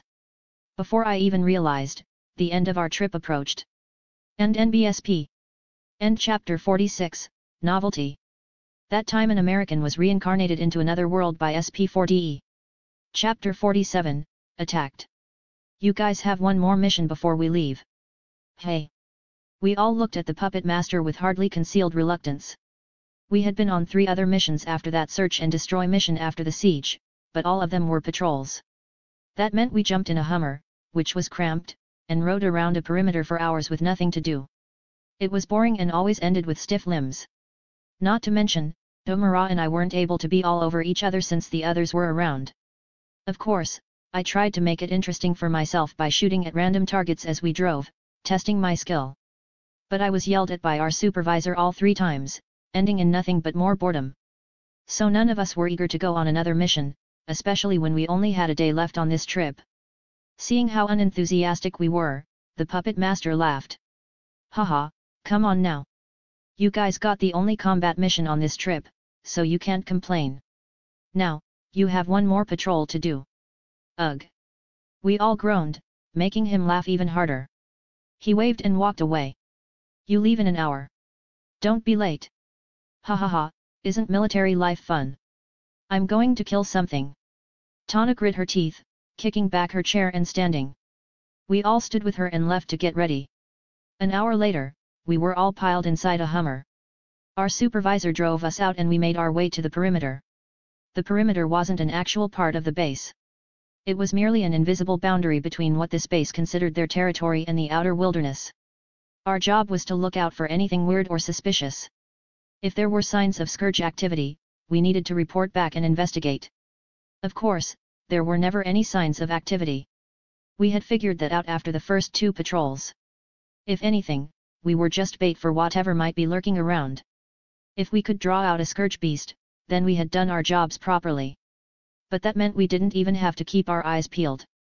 So as soon as we left the base, Tana and Faden closed their eyes and took a nap. Vetsman also seemed to have brought a book, which he read. As for Umara and I, we just cuddled in the back seats. I had my arm around her as she lounged back into my chest. It wasn't long before noon, so the sun was still rising toward its zenith. Since we would be out here for about six hours, all of us tried to get as comfortable as possible. Even I got an hour-long nap in, drifting off until around noon. After that, everyone seemed to have woken up properly, prompting us to start a random discussion that got a bit heated and went on for a couple hours. It was only during the second half of our drive that everything calmed down again. At that point we just sat around bored. Then, after having lounged back with Umara for long enough, I opened my eyes and got up. I need air. Just don't stick your butt in my face again. You know you like it. Ew. Tana gave me a disgusted face as I climbed up and pushed open the roof hatch, letting me stick my head out. There wasn't even a turret on this Hummer, but there was a hatch for it. Thinking that, I let the wind blow across my face as I took some deep breaths. I looked around, seeing some forests in the distance and nothing but grassy plains around us. I could also spot a bunch of wildlife. In these undisturbed areas, there were lots of creatures that would wander about. I didn't recognize a lot of them, but in general they still fell within standard classifications. Birds with feathers, mammals with hair and fur, small insects and other scaly or reptilian friends. It was just the colors and some other special features that made them much different from Earth's animals. In one of the forests I looked at, I also saw some monkeys. When we rolled by, a lot of them stopped to look at us. They had black fur and red eyes. They looked rather menacing. Too menacing, in fact. Seeing them gave me a bad feeling. Hey, Vetsman. Hum. Out your window, the trilene in the distance. Black monkeys with red eyes. Check it out. Hum. The big man looked out his window, taking a few seconds before responding. They look hostile. Gear up. I don't like it. Alright. Hey, buckle in too. He didn't question as he put on his armor. The others readied their gear as well while strapping in. As that happened, the monkeys all swung away, seemingly having enough of our presence. That's when the driver looked back. Hey, did you find something? Not sure. Some black monkeys with red eyes were looking at us. Those? They aren't uncommon. The ones with red hands are the ones we gotta watch out for. Let me check. Taking out my rifle, I scoped in and tried to find some more. But after a minute or so, I couldn't find any others. Still, my bad feeling grew. That's when I heard some sounds from a forest closer to us. Turning, I saw some more monkeys. They were all swinging through the branches, following us in parallel. And their hands were red with long black claws coming out of their fingers. My eyes widened, but before I could say anything, I saw everything turn in slow motion. I felt alarm scream in my mind, my coat flashing with purple as its powers were activated. In the corner of my eye, I could spot the source of my panic. There was a giant gorilla barreling straight toward us from the trilene of the forest. It was fast and big, almost as big as the Hummer. It was going to ram us, and I had no illusions about its strength. It was going to flip the Hummer. So I sunk back down through the hatch, barely closing it behind me while yelling. Incoming! Boom! It was like we were hit by a bomb as the Hummer was lifted from the ground. I could only duck and cover my head as I went tumbling inside this metal can. Right as I went flying though, my entire body was grabbed. It felt like a bear was hugging me as we whipped around, the Hummer rolling several times before coming to a stop. Once we settled, we could hear a bunch of sounds coming from monkeys that boarded our vehicle, screaming while banging on the windows and doors. John? You alright? I love you Vetsman. Whoa now, your girlfriend is right there. He chuckled while letting me go. Since the car was now on its side, I had to balance on one of the seats. The others unstrapped themselves as well, crawling around. That's when I had to close one of my eyes, feeling moisture crawl down my forehead.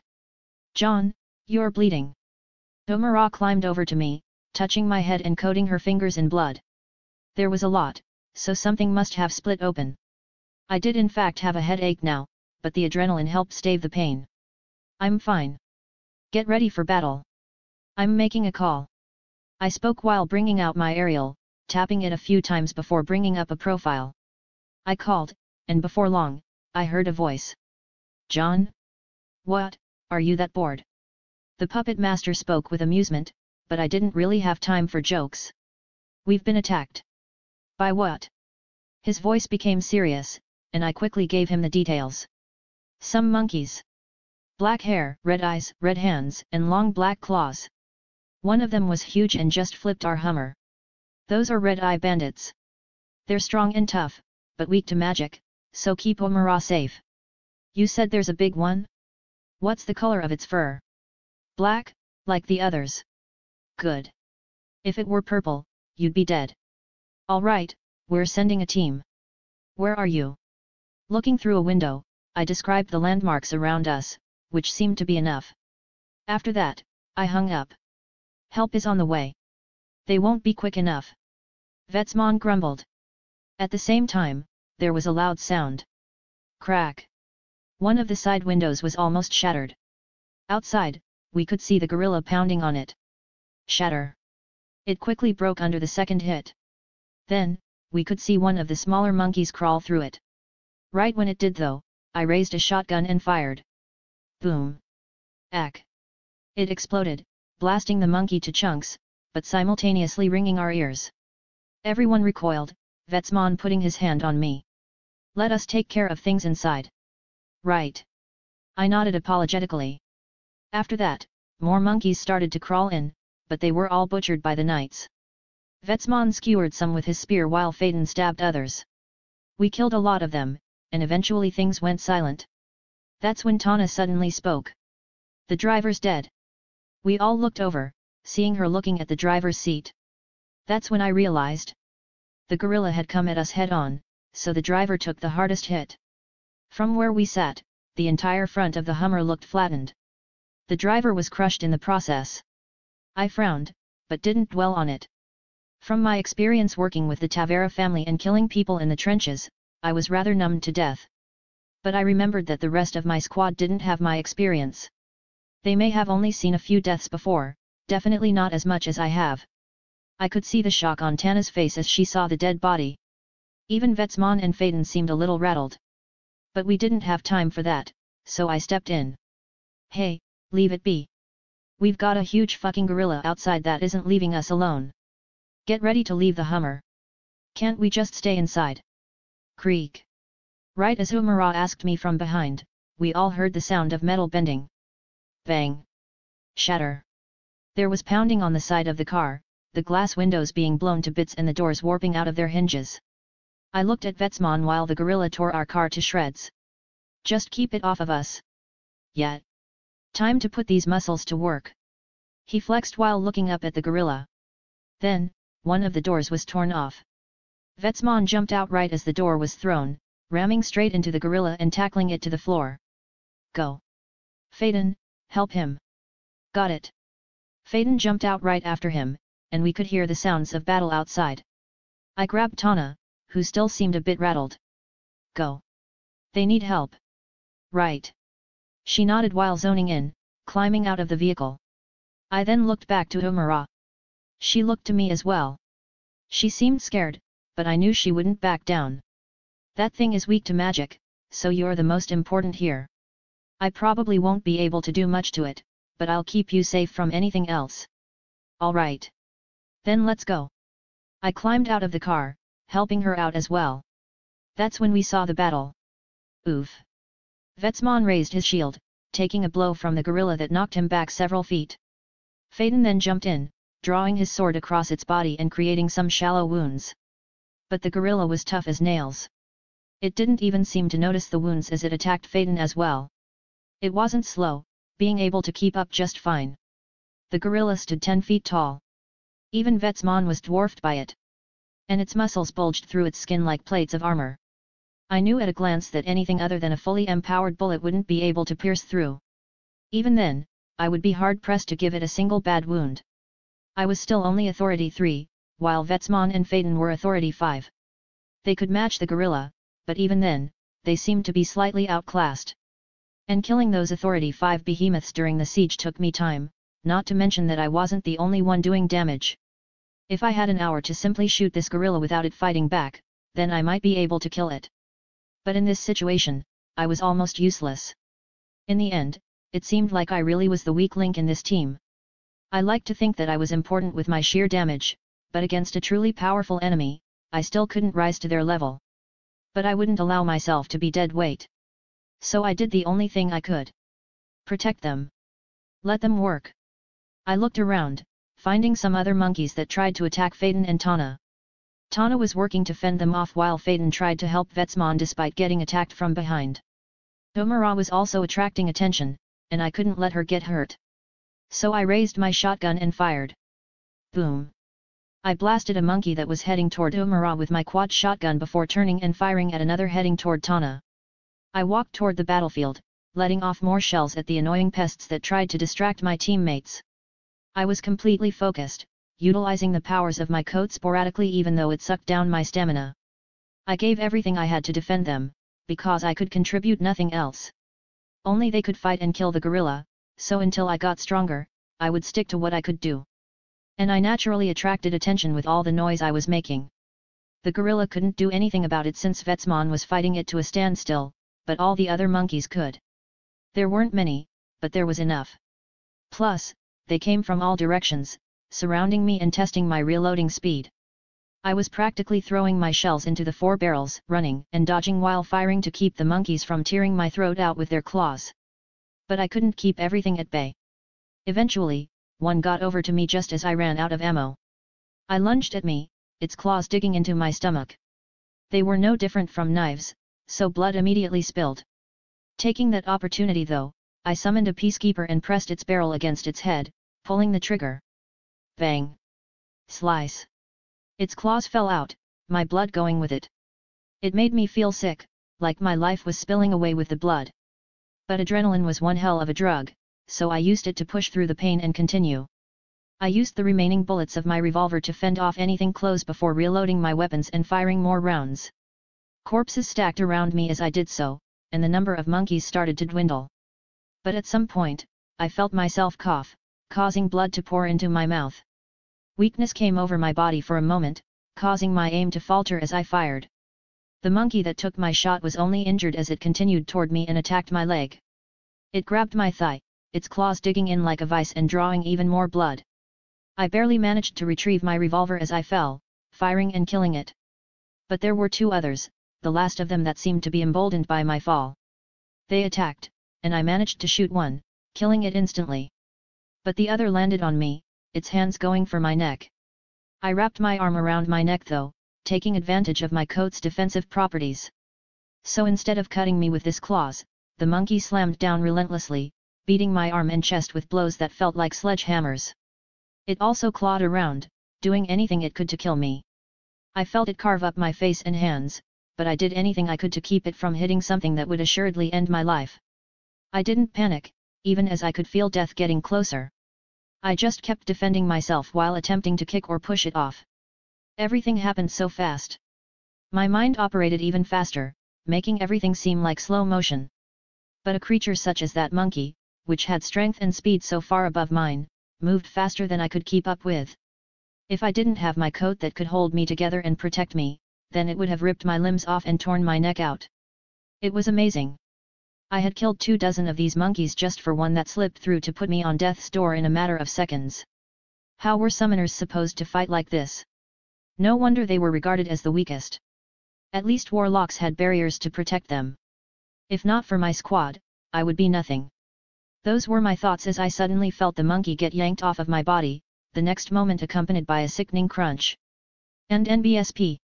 End Chapter 47, Attacked. That time an American was reincarnated into another world by SP4DE. Chapter 48, Lesson. John. Vetsman, Faden, and Tana heard Umara scream from behind. They had been so preoccupied with the gorilla that they hadn't had the time to look back. It was almost dead through their efforts, but they hadn't noticed one thing. After John emerged, they hadn't been attacked by a single monkey. But at some point, his gunshots ceased. They didn't think about what that meant, and so they only realized once they took a glance behind them. There he was, laying down while getting attacked by a single monkey. It clawed and beat him, tearing through his skin like it was paper. His face was already coated in blood, yet he still tried to cover himself, anything to survive the attack. They forgot just how weak he was. Why were knights the strongest? Because when faced with those same claws, their skin would resist their cuts and their muscles would nullify those blows. Such an enemy to a person like Vetsman was no different from an annoying, flailing child. But to someone like John, a single wrong mistake would allow that monkey to end his life. Behind the confidence and powerful weaponry was still just an ordinary man.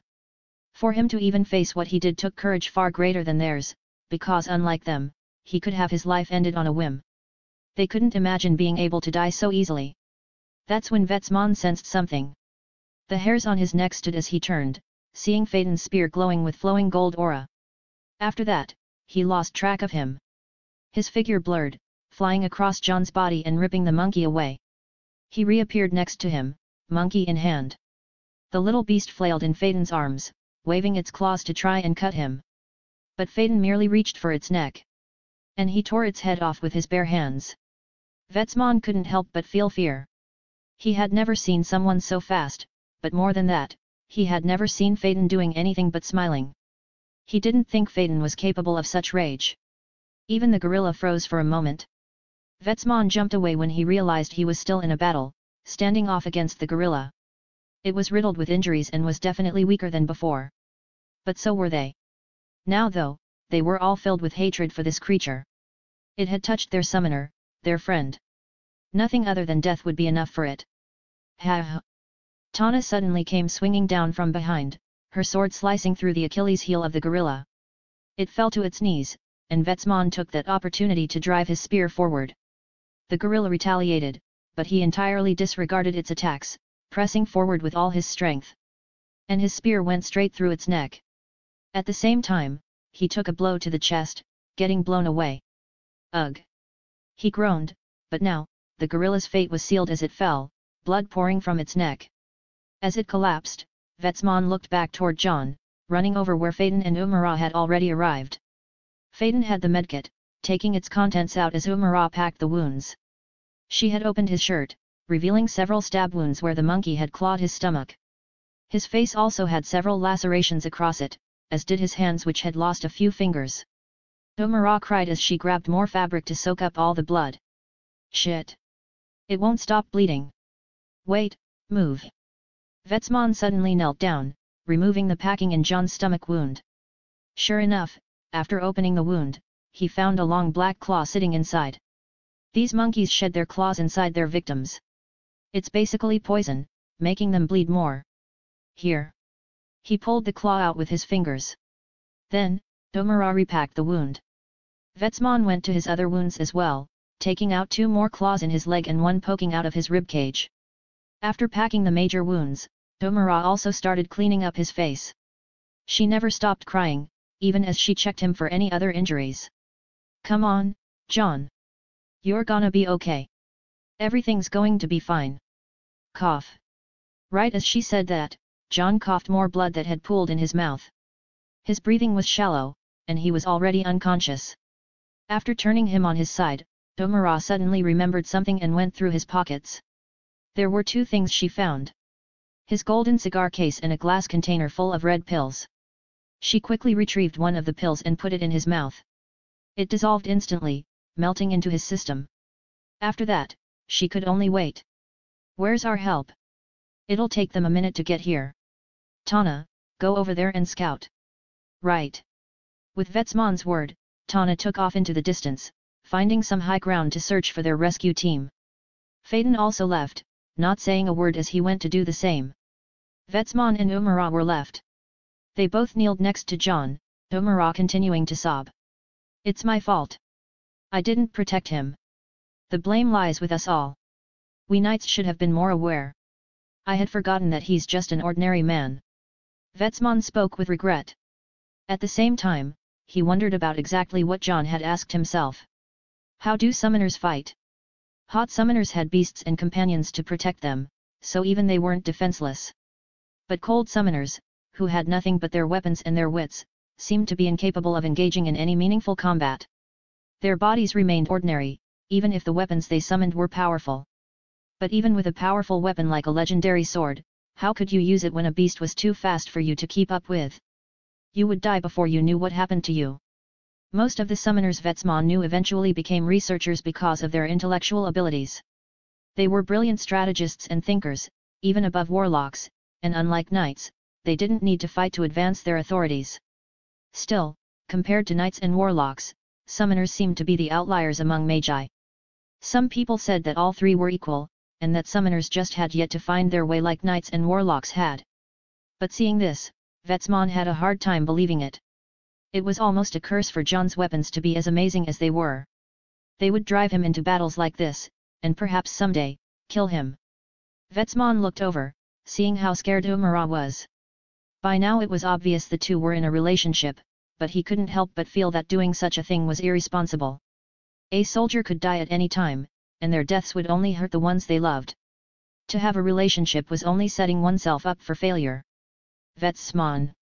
Suddenly, he heard Tana's voice on his aerial. He looked over to see her waving. In the distance, three vehicles were barreling down a trail. He watched as they rolled up to them, Tana and Faden right behind. The puppet master jumped out, taking a single step and arriving by their side. He saw John who looked half dead, frowning. You all let him get attacked. Yes. Vetsman stood, facing the puppet master as if ready to be executed for a crime. The others also stood, silent with their heads down. The puppet master grit his teeth and yelled. Vizan! Get him out of here! Already on it! Another man appeared. He was one of the Magisterium's instructors and a warlock who specialized in healing. After appearing by John's side, he cast several spells, sealing his wounds before having some others pick him up and take him away. Many soldiers also scouted the area, tallying the kill counts and writing up reports. The puppet master yelled as if he couldn't see anyone beside him. You all almost killed your squad mate. You know he's a summoner. So what the fuck were you doing? Answer me. We got distracted. Yeah, that gorilla must have been so hard to fight. I mean, look at you. A few bruises, even a bit of sweat. You look like you've faced that hardest opponent of your life. Fuck. And you? The puppet master turned his attention to Tana, who flinched at his voice. You're the scout. Your job isn't to battle the Alpha. You're supposed to make sure that your vulnerable teammates aren't getting ripped to fucking shreds. But you got tunnel vision thinking that the Alpha was an opponent you couldn't handle. You are the most responsible for this. Your lack of awareness is what caused this. Do you understand that? Why yes. Tana shouted in response while tears poured from her eyes. Then, he turned to Umara. You. You couldn't spare a single damned spell, could you? I know John probably told you that you needed to focus on the Alpha since I told him it was weak to magic. But who would have thought that he misjudged the strength of his opponent? Someone who only awakened half a year ago didn't manage to gauge the urgency of the situation properly, making you think that you couldn't even spare him a glance. The puppet master turned to everyone as their eyes widened, shocked by the new information. That Alpha was weak, and none of you saw it. You all got so caught up in the heat of the moment that you all seemed to turn into brain-dead rocks. Umara has a quarter of her mana left, Faden doesn't have so much as a single scratch, Vetsman's shield is still intact, and Tana isn't heaving for air on the floor. All of you could have done more. You could fight a second one and come out on top. And yet, the weakest one out of all of you almost died. You couldn't spare a single damn second of attention or strength to make sure he wasn't getting his face eaten.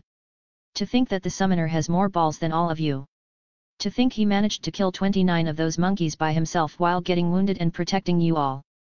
To think that I almost lost one of my students today because I put him with an incompetent team. I expected more from all of you as the highest ranking elites in the school. Now board the trucks. We're going back. After grilling all of them on both sides, the puppet master left and boarded a Hummer. The others did as well, not so much as uttering a single word the entire way back. Ugh. Shit. When I finally woke up, I was hit with a wave of hunger. It felt like I hadn't eaten in days. Not only that, but I couldn't open my right eye. So my left eye opened, taking in the sights of the hospital. Oh, he's awake. I hear an unfamiliar voice call out, making me cringe at the loud sound. Hey, can we tone it down a bit? John. Ack, son of a bitch. I held my throbbing head when the puppet master yelled but I didn't get any reprieve when he started his rant. You dumbass! What the hell were you doing putting yourself in the position to get hurt like that? Are you trying to die? You know very well where your limits lay and you went out there anyway. Yet, well, I was just trying to contribute. I refuted as my headache faded, feeling a bit of indignation. I'm not as strong as the others. As soon as we were faced with a real enemy, I found myself useless. So I did what I could and made sure that everyone could fight without fear that they would be attacked from behind. I was doing my job, and I messed up, getting hurt in the process. Please, you talk as if you aren't a part of the team. I already gave the others a lesson on what they did wrong, because this should never have happened. But you're not blameless either. We both know that you're not useless, so stop spitting bullshit. You putting yourself out there like that jeopardizes the integrity of your team. If you had taken even a single measure to keep yourself protected, you could have turned that quick battle into a protracted one, even if it was at the expense of more energy. And if you hadn't been injured, you could have done the same job even better than you did while also being able to help after all the small fry had been eliminated. We didn't have that kind of time though. Vetsman was getting thrashed and even Faden had a hard time cutting that beast. It needed the full focus of our team or we would have been overwhelmed. And there's the problem. The puppet master smirked. That gorilla was powerful, yes. It's a mutated variant of those monkeys and stands at the peak of Authority 5. It only needed a bit more time to evolve again and grow its purple hair, becoming an Authority 6 beast you couldn't so much as scratch. But it was by no means overwhelming for your group. You didn't properly understand the power of your team nor the beast, leading you to believe that it was a life or death battle. Well it wasn't, and with you basically being the leader, your team moved according to your sense of urgency. The heat of the moment clouded the judgment of you and your entire group and almost led to your death. I didn't respond. If that was true, then I really had made a serious miscalculation. But I didn't have enough experience. I didn't even know what the beast was until the car had been flipped. And with everything that had been said over that call, I was led to believe that it was a beast nearly impervious to everything that we could throw at it besides magic. I thought Vetsman and Faden would only be able to distract it while Umara dealt the damage. And since I couldn't do anything to it, I took up a supportive role. But there was nobody to help me, and I got tackled so fast that I couldn't even call for help. Faden reacting as fast as he did was a godsend. Still, just a few seconds of attacks had left me devastated. I knew I was in the wrong, but I didn't feel like my judgments were entirely incorrect either. I simply did what I could with the information I had on hand. And it seemed like the puppet master knew that as well, because the next moment, he sighed. Ultimately, you're not completely at fault. You just don't have as much experience. As a summoner, learning to gauge the strength of those around you is vital. You'll naturally get better at it as you get stronger and develop your aura. Sometimes I forget that you're still just an Authority 3. Your squad seems to have forgotten too, but something like that won't happen again. The puppet master's face turned stern. Tana is being transferred to a new squad. What? Why? The greatest fault lies with her.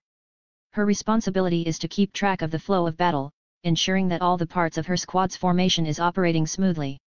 While it could be said that Vetsman and Umara are also at fault for not maintaining awareness, she failed entirely. Because of her, we almost lost you. So she's moving.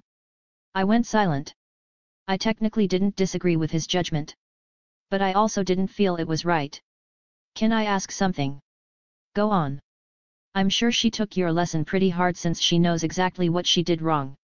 I'd be devastated to lose a friend because I failed to live up to my duty, and I'm sure she can't even imagine losing a friend in the first place. Her desperation to never make a mistake again is probably overwhelming, right? I would agree, yes. So keeping her in the squad and letting her live up to it would make her far better than downgrading where she'll never be able to reconcile her mistake, correct? Correct. But that comes at the risk to her squad's lives, especially yours since you're the most vulnerable. And if I'm willing to take that risk? Would you let her stay? The puppet master's placid face stared at mine, as if not entirely convinced so I gave him a bit more bait. I'd rather have someone desperate to protect me than someone who gets complacent when they get put into the best elite squad in the school. Fine. She'll stay. He finally agreed, making me smile a bit. Tana did in fact make a mistake. We all did. But I knew her well enough to know it wouldn't happen again. She was too desperate to let a second chance go to waste, and she would grow as a person because of it. And it wasn't like she was incompetent. She was diligent and wanted to become stronger. We were also friends, so I felt like my squad shouldn't be split up just because of one setback. By the way, I talked to Maxwell. Hey! The puppet master suddenly dropped that bombshell, catching my attention. In his own special way, he said he's glad you're not dead. Okay. What did he really say? That if you had died it would have been a major loss in his investment. Yeah, sounds about right. I laughed a bit. Maxwell was always a bit sparing with the care and compliments. Anyway, I'm giving you time off once we get back to the magisterium. You should be close to advancing, so don't come back to training until you do. Alright. I readily agreed. I really was close to advancing. In fact, I had completed the formation. My comprehensions only compounded as my spark got stronger, resulting in me completing it even faster than I thought I would. Now, I was just accumulating power with the white crystal. I was basically just a battery that needed to completely charge before finally breaking through the last barrier to Authority 4. I was eager to see what awaited me at the next level. With that, the puppet master let me be. I then called my squad. End NBSP. End Chapter 48, Lesson. That time an American was reincarnated into another world by SP4DE. Chapter 49, Drink it Nerd. Ding. Vetsman, Faden, Domara, and Tana all heard a sound from their aerials. Domara's eyes widened. It's John. What did he say? It says, I have risen. What's that supposed to mean? Oh, he told us to bring some food too. Let's go see him. Domara was the first to jump up, running over as the others followed. I heard four people barge into the hospital. John. Watch the stomach. I spoke as Umara dove over, wrapping me in a hug. I couldn't help but chuckle at how much she worried. Are you okay? How are you feeling? You probably know better than me. I haven't gotten an update yet. But I feel fine. That's good. She continued to hug me for a while longer. As she did, I looked around at the others. I reached out with a free hand toward Vetsman who walked over smiling. Glad to see you well, John. Likewise. How long have I been out? About a day. We leave tomorrow morning. Good. I'm eager to get the hell out of this place. Oh, is that food? I looked over to see Faden approaching with a tray of food. He smiled and placed it on my lap. I just grabbed what they had available. Thank you. This is definitely something I'm not going to miss though. I spoke as Umara separated, allowing me to eat. I engorged myself for about a minute, finally giving my empty stomach some fuel. At some point though, Umara perked up and reached for something. Oh, I grabbed your items. Ah, shank you. I mumbled with a half-full mouth, taking the cigar case, the pill bottle, and my coat. They all went into my spatial sack, except for the cigar case. I opened that and took out a fresh stogie, cutting the end and lighting it. The smoke I inhaled felt like a wave of rejuvenation that spread through my whole body. Ha, so nice. If only we got paid for our kills. I bet that gorilla was worth a lot. The kingdom only does that for stronger beasts. A shame. I sighed at Umara's comment. I was used to getting paid by the job. Now, I wasn't getting paid at all. At that moment, I saw a nurse walking over. John Cooper. Yes. Since you're awake, I needed to talk to you. Oh, go ahead. The others took a step back, letting the nurse over as she read off a clipboard. Well, your injuries have been mostly healed except for the worst ones. You've thankfully lost no organs or limbs thanks to the timely intervention of Instructor Vision, but in total, there were 54 different injuries. Six of your ribs were cracked. Your femur had a surface fracture. We found 31 lacerations across your hands, face, chest, stomach, and legs. And on top of the major bleeding caused by 12 stab wounds, there were some infections caused by the poison of the monkey claws. You also lost three fingers that we were able to reattach with no issue. You've recovered from everything very nicely. The only thing you need to worry about will be the scarring. Oh. Well, I've got enough scars anyway. Who cares about a few more? Healthy optimism. The nurse chuckled a bit before writing a few things on her clipboard. She then set it down and reached over. I'd like to take off your bandages. The injuries on your face should have sealed by now. Okay. I nodded as she started undoing the white wrapping that covered half my head. It quickly fell off, so I took out my aerial and turned on the camera, looking at myself. Before, the only scars on my head had been on my left temple beside my eyebrow. But now, there were a few others. There was another on the left side, going from my cheekbone to my ear, drawing across it almost like it was cut in half. That wasn't even the most obvious one though. By far the most noticeable were the two deep scars running down the right side of my face. They ran in parallel, going from my forehead and down my eyebrow, slicing across my eye and cheek before ending at my chin beside the corner of my mouth.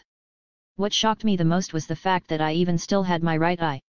Even the nurse spoke about it. You're lucky, Mr. Cooper. Even your eyelid was split open, but those claws still missed your eye by a hair's breadth. Otherwise you'd be half blind right now. I think a few prayers are in order for that miracle. I think you're right. I let out a long breath, thinking how devastating it would be if I lost my good eye. Inwardly, I gave a quick thanks to my guardian angel before smiling. Well, that's a few more for the collection. How do I look? I faced Umara while pulling her onto the bed with me. Other than those two across my eye and the one across my ear, there were a few shallow scars that would fade with time. All of it was enough to call my face disfigured, but I didn't mind that much. It didn't seem like Umara did either as she gave me a shy smile back, her face a bit red from my bold move in front of everyone. It looks good. You're still just as handsome. Hehe, you're cute when you're embarrassed. She went silent, placing both her hands over her face. I could almost swear some steam came off her burning ears. But she still leaned into my chest. It was hilarious how contradictory this girl could be. Ahem, anyway. The nurse interrupted with a weird smile. The other wounds on your body still need some time to fully heal. You shouldn't have any problems functioning normally, but if you do, tell someone. You may also feel soreness when moving. That's normal and will fade as you heal. And if it wasn't obvious, please refrain from strenuous activity for at least the next few days. You should be completely fine within a week if you take a recovery pill once a day. Other than that, you're free to go. Your other bandages can come off whenever you want them to. Got it. Thank you. Of course. The nurse left with that. Afterward, I dressed and left the hospital with the others. But I split up while walking to go back to my room and clean up. I first took a shower. There, I took off the bandages around my torso and leg. Both of them revealed some nasty scars far worse than the ones on my face. It looked like there was a small crater in my stomach right beside my ABS, like someone had carved out a chunk of my body. There were also some deep lacerations across my chest. Of course, these were only additions to several other scars, but they were definitely the worst. The ones on my leg were also nasty. The nurse was right about the soreness too. Just walking felt like I was hobbling on a broken leg. The monkey that left that wound had basically torn out some of my muscle. It had grabbed my thigh with those claws and pulled, meaning it both stabbed and sliced. The wounds pictured that scene rather clearly. There weren't any stitches to worry about since the wounds had sealed, thankfully. So with that, I finished showering. After grooming myself a bit, I dressed in some fresh clothes and took a look at my coat. It was still stained with blood, so I got to cleaning it, which was easy enough. Technically it was self-cleaning, but sometimes it needed a bit of help. I just had to wipe off all the crap that refused to leave, which in this case was all the dried blood. Soon, it looked brand new. So I slipped it on and went back out. I spent the rest of the day with my squad, all of us hanging out. I could tell that everyone still felt bad about what happened, but I did my best to reassure them. And I suppose Tana felt the worst, seeing how the puppet master basically pinned my near-death on her. But that would take a proper talk to reconcile. For now, we just appreciated each other's company for our last day on base. After that, night came. And with that, our day of return arrived. The fourth year class stood before Commander Bosnan. It was good working with you all this past month. It's fortunate that we're all leaving here in one piece. Despite all of us being shocked by a sudden siege after just the first day, you all stepped up and provided valuable manpower. Because of you guys, we've only lost a single soldier this entire month. For that, we thank you. Now go ahead and head home. You've earned a break. Thank you, Commander. The instructors shook hands with the man before we all boarded the rail. We were free. I can't wait to eat some real food. I'm pretty sure they served actual slop last week. I need to bring some blankets next time too. I completely forgot. I heard chattering while boarding. Before long, all of our cargo was loaded and we took off. The rail jolted a few times while accelerating. As that happened, all the elites moved to one of the cars and lounged. Nobody felt like partying right now. We were all tired since it was barely dawn, so everyone got some shut-eye. Umara and I found our own corner couch, and before long, both of us were out cold. That lasted a few hours before people started to wake up around an hour or so before noon. And with chatter, those who didn't wake naturally did so anyway, everyone starting to socialize. I stayed with Umara even after everyone had gotten up, enjoying her company. So we can finally go on a proper date now. Anything better than a patrol will do it for me. I'm glad the standards are low now. Makes my job easy. Pfft. She laughed before poking me in the side. Hey, if you really want, we can go to Jofrun and find a restaurant there. I know a nice one, and we wouldn't have to worry about paying. So you think me cheap? And no. I just wanted to go to a nice place for our first date, but I didn't know if spending so much was okay with you. I don't want to worry about money. Oh. I suddenly like you even more. She went silent, covering her face with both her hands. It made me laugh. Seriously, how cute could this girl be? I pinched her side, causing her to flinch. Don't worry about the money. I'll bring you to the nicest place I know and we'll have a wonderful night. Sound good?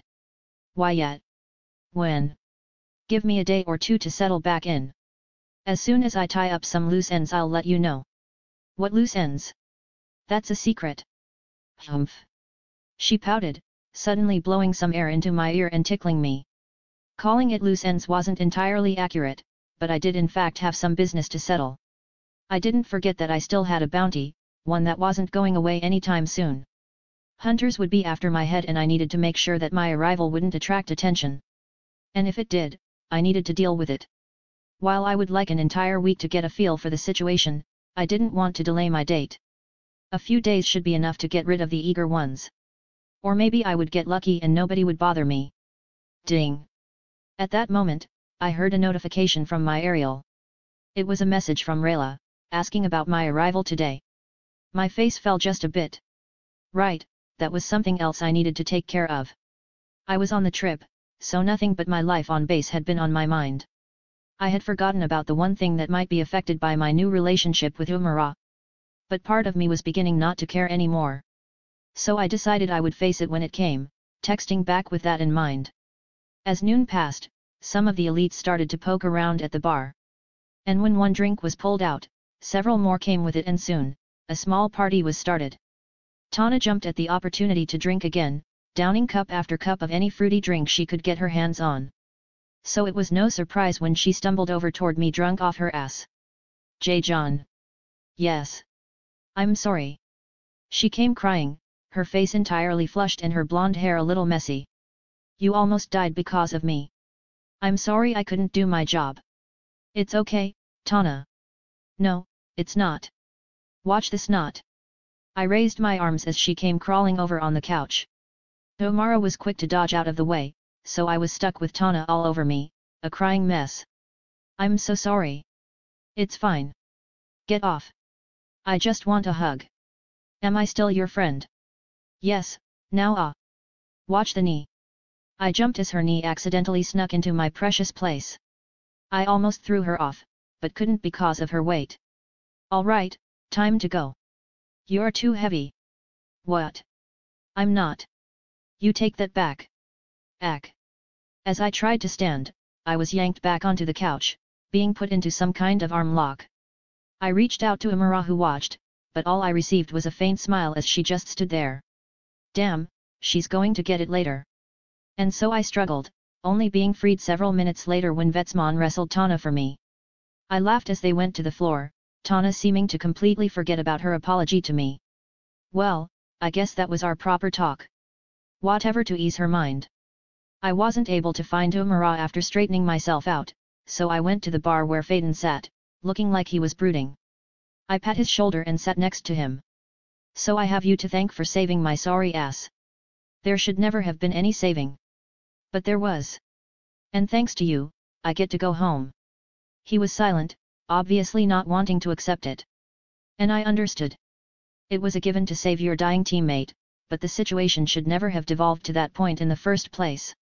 So saving me was, in a weird way, actually something to be ashamed of. We were both silent while I ordered a drink. After taking a sip, I spoke again. Look, I've taken full responsibility for everything that went wrong. But you didn't do anything wrong. Au contraire, my brother. I quite literally walked myself in that situation. I misjudged several things and took it upon myself to take unnecessary risks when there was no need to. I should have been more careful, and then even Tana wouldn't have had anything to do. But you were supporting us. Irrelevant to the point. If I had simply made better decisions, then there would have been no problems. Plain and simple. Trust me, I got an earful from the puppet master too. Since I've been kind of acting as the leader of our squad, it was my actions that led to this outcome. So even though it was me, I'm responsible for what could be considered the near-death of a squad mate. That's also why I'm going to take a step back. I explained, taking a sip of my drink as Faden thought about my words. Then, he looked at me weirdly. What do you mean, take a step back? I mean I'm going to drop the whole leader thing. I'm pretty sure it's supposed to be Vetsman anyway. He's got more experience and a better grasp on how things work, so for all our sakes I'm going to make sure he's the one giving orders from now on. I see the logic, but I'm not sure if I like it. It'll be fine. It's not like anything major is going to change. Regardless, I just want to make sure you aren't worrying about anything. There's no need to, because we're doing just fine. So relax. Mm. He smirked a bit. I could tell there was still a bit on his mind, but it seemed I had reassured him somewhat. After that I turned around, looking around to see all the elites having fun around me. With curiosity, I suddenly tapped Faden's elbow. Hey, who's rank 1? He doesn't do anything with the magisterium. He's basically a student in name only. Too good for us, hey. Kind of, yet. He's a duke's direct son, so his royal blood is as thick as his biceps. He's the strongest person that I've seen in our generation. Last I heard, he's pushing into Authority 6. Shit. Alright. Now, which girl do you have a crush on? I'm suddenly remembering my youth school days. Faden muttered while turning his gaze away, making me smirk and motion toward all the people in the car. Come on now. Which one has your fancy? Just about all of them are pretty. Don't tell me you haven't talked to any of them. I haven't. Oh goodness. My friend, you are wasting the tools you've been given. Tools. The looks, the charm, your status as what may as well be the highest ranked elite. You've got everything you need to make any girl in this room fall for you. I I don't know about that. He scratched his head shyly, causing my face to go placid. If Vetsman was a man who radiated pure testosterone, then Faden could be considered a bit of a pretty boy. He had blonde hair and blue eyes, and he was built lean. But lean by night standards meant that instead of bodybuilder muscles, he had slim muscles that rippled with fibers. And not only was he was the most powerful person here, but he was the son of a marquis while still being humble and reserved. This man was damn near perfect. What girl wouldn't jump at the opportunity to date him? Of course, the only way anything would happen was if he had some confidence and actually talked to a female. So it seemed I would need to help this poor man out of his shell. Alright, time to get you buzzed since I'm not even sure if you can get drunk. Once you're a bit looser we can bring some females over for you to talk to. I don't really think there's a need for that. A relationship would only get in the way of our training, right? My god. It's even worse than I thought. Here, drink this entire bottle. Be but my parents will be waiting upon arrival. I can't be drunk for that, can I? Faden, my good friend. I looked the man in the eyes. Let it be known now that I'm not a good influence. However, life is not all about training and doing what's right. It's also about having fun, which can often involve being a little naughty from time to time. So long as you don't knock a girl up, you'll be just fine. I mean, what's the worst that can happen? Daddy grounds you for having fun with your friends? I think the trade is worth it. Cling. I put a bottle in his hands and clicked my glass against it, taking a swig. He stared at the bottle for a few seconds, and seeing his hesitation, I yelled. Drink it nerd. Fine. End NBSP. End chapter 49, Drink It Nerd. That time an American was reincarnated into another world by SP4DE. Chapter 50, Girlfriend. Ugh, yeah, I'm stopping there. Letting out a belch, I set down my glass. As I pat my stomach, Domara walked over and sat beside me on the couch. She leaned over, looking toward the other end of the room where four people sat. Hey, is that Faden? Shit, I don't even know anymore. I waved and let out an exasperated sigh. After about an hour, Faden got just drunk enough for his shell to disappear.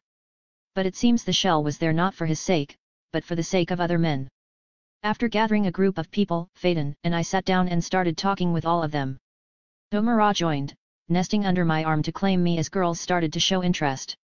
At some point, we started telling stories about our patrol where I was wounded. In an attempt to help him, I pushed most of the storytelling to Faden, letting him have the spotlight.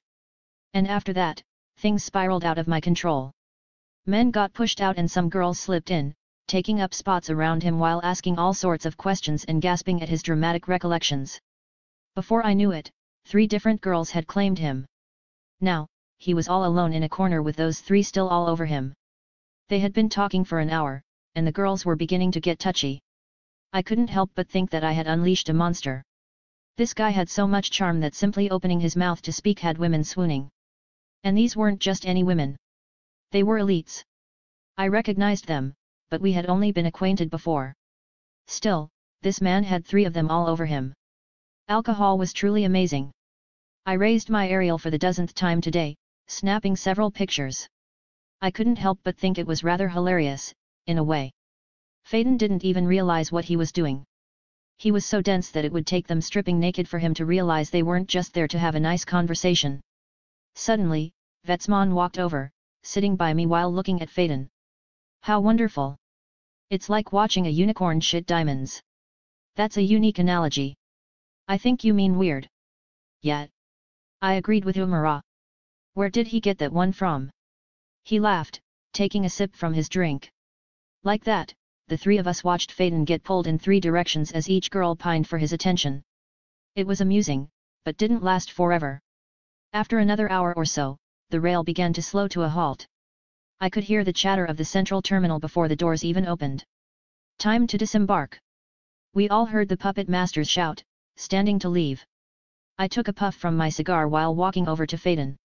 He sat with his eyes closed, his legs crossed on his seat and his arms resting on his knees. At some point, he had entered a state of meditation. Vetsman said he wasn't actually asleep and what he was doing was a training exercise to enhance control over the body and focus of the mind. Why he suddenly started doing that, I couldn't even guess. But the girls with him had basically been blown off, so two left, and only one stayed for some reason. She sat next to him, also meditating. Because they had a lot to drink though, both of them were swaying a bit, looking like they would fall over any minute.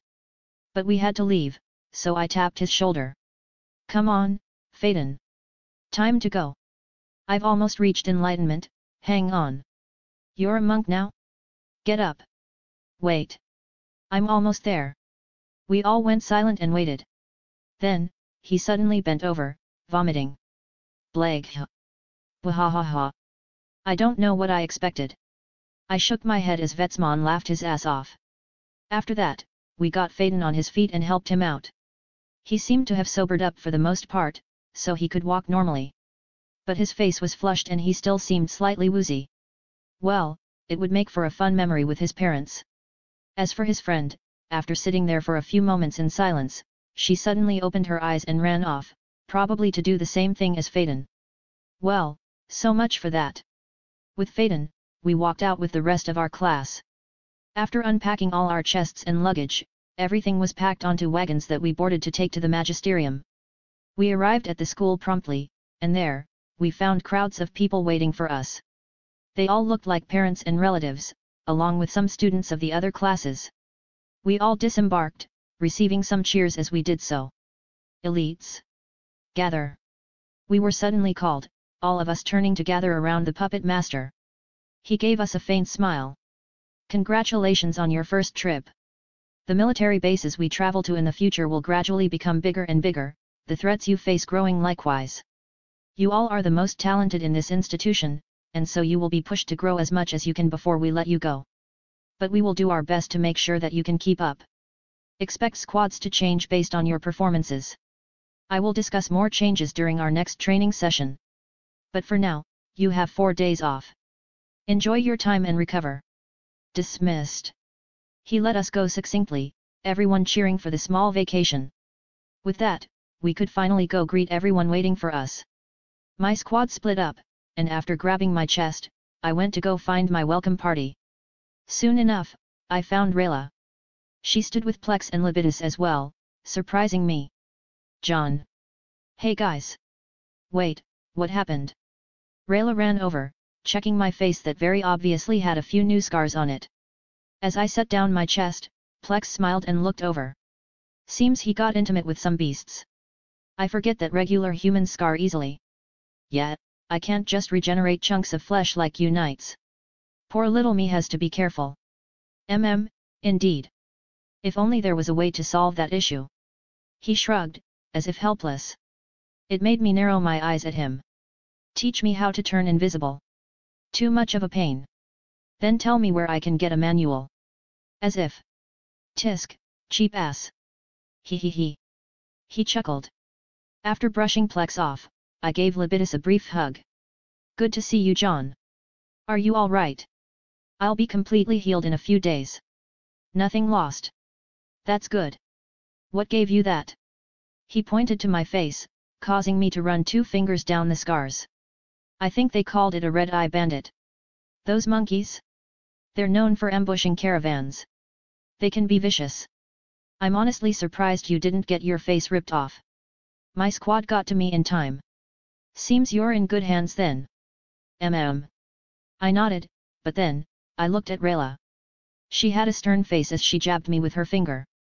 What did I say about keeping yourself safe? That it was generally advisable. Don't play smart. From what I can see, you almost died. Those bandits have poisonous claws that shed as they attack their targets. I can see scars around your fingers meaning they got cut off and reattached. And it'll take you a few days to recover even with your cigars. I can assume that had anything gone any worse, you'd. I was silent, my smile having faded into nothing as she continued. I was beginning to see a pattern with her, one that I'm not sure I liked. She stopped herself though, and after taking a few deep breaths, settled down and gave me a hug. I'm glad you're safe. That's all that matters. Hum. I returned it lightly, hearing Libitus sigh in the background. Wait, Mom! Right then, I heard a familiar shout. Separating from Rayla, I turned around and saw Umara walking toward us. In front of her was Duchess Talaria, the city lord of the city of Jofrun. I suppose I had forgotten that Umara was her daughter. No wonder she offered to go to a restaurant in Jofrun. With her mom being the city lord, she could go wherever she wanted. The Duchess walked up to me. She stood only a few inches shorter than me, but she seemed much more overwhelming. The way she carried herself simply demanded subservience, a feeling of suppression I could sense through her aura. Despite how she seemed to be generally stoic like her daughter, she gave me a faint smirk. John Cooper. This is the second time we have met. Indeed. I hope you've been well, Duchess. Hum. I came today simply to make sure my daughter was okay. I didn't expect for her to want to introduce me to her new boyfriend. Mom. I saw Umara flush from behind her mother, looking toward me with half apologetic and half embarrassed eyes. It put me in an awkward position too. Rayla was here and I hadn't been planning to break the news like this. Umara and I were assuredly in a romantic relationship, but since we hadn't been on a proper date yet, the boyfriend slash girlfriend label wasn't yet plastered, even though it was technically true. Well, I knew she was fine with it being said, but I was beginning to understand that this Duchess had no sense of subtlety. I gave the Duchess a smile. I hadn't realized Umara was your daughter until well after our meeting, ma'am. Did you pursue her after she told you? Well. I I pursued him first. Umara shouted, standing between me and her mother defensively. I did it, so you can't say anything. Your actions surprise me, dear. But that changes little. This matter cannot be decided on so simply. How do I know this charming young man hasn't seduced you due to your status as my daughter? Perhaps he used his rugged looks to his advantage while sweet-talking you. A woman would be hard-pressed to resist that. Mom, please. Umara looked like she was going to cry as her mother continued speaking. And I also couldn't help but smile weirdly. Come on lady. At least try to hide your preferences but those words about Umara's status as her daughter brought up a few questions. Inwardly, I tried to recall the various titles of nobility. I never deigned to pay attention to the pompous adventures of the British crown, so I wasn't entirely sure about the order of ranks or the titles the wives would hold, or if it was even the same in this world. Duchess, is that a count's wife? They both have C's in them. Curious about my conjecture, I leaned over toward Umara and asked. Hey, what level is a duchess at? Is it like, count equivalent? Hey! This time, she was the one who looked at me weirdly. I raised my hands in defense. I don't know the levels of nobility. You're kidding, right? Everyone knows them. Even village kids know them. It's the first thing they teach in school. I just got the male and female titles mixed up. You're lying. Suddenly, the Duchess spoke up, interrupting us. Her eyes were narrowed at me. I refuse to believe you don't know what my title means. I can confidently say I would bet my life on it. Alright. She smiled and raised her hand. Then, an impossibly complex spell formation appeared above her palm, spreading into hundreds of layers before collapsing into a single circle that flashed with overwhelming power. This is a spell that will detect if you are lying. If it determines that you have, then it will kill you. I'd like to rephrase my earlier statement. So you admit you're lying. I'm not, but I don't know if your spell will kill me due to a misinterpretation. I can't say I'm a very lucky person, so I'd rather not take the chance regardless of the circumstances.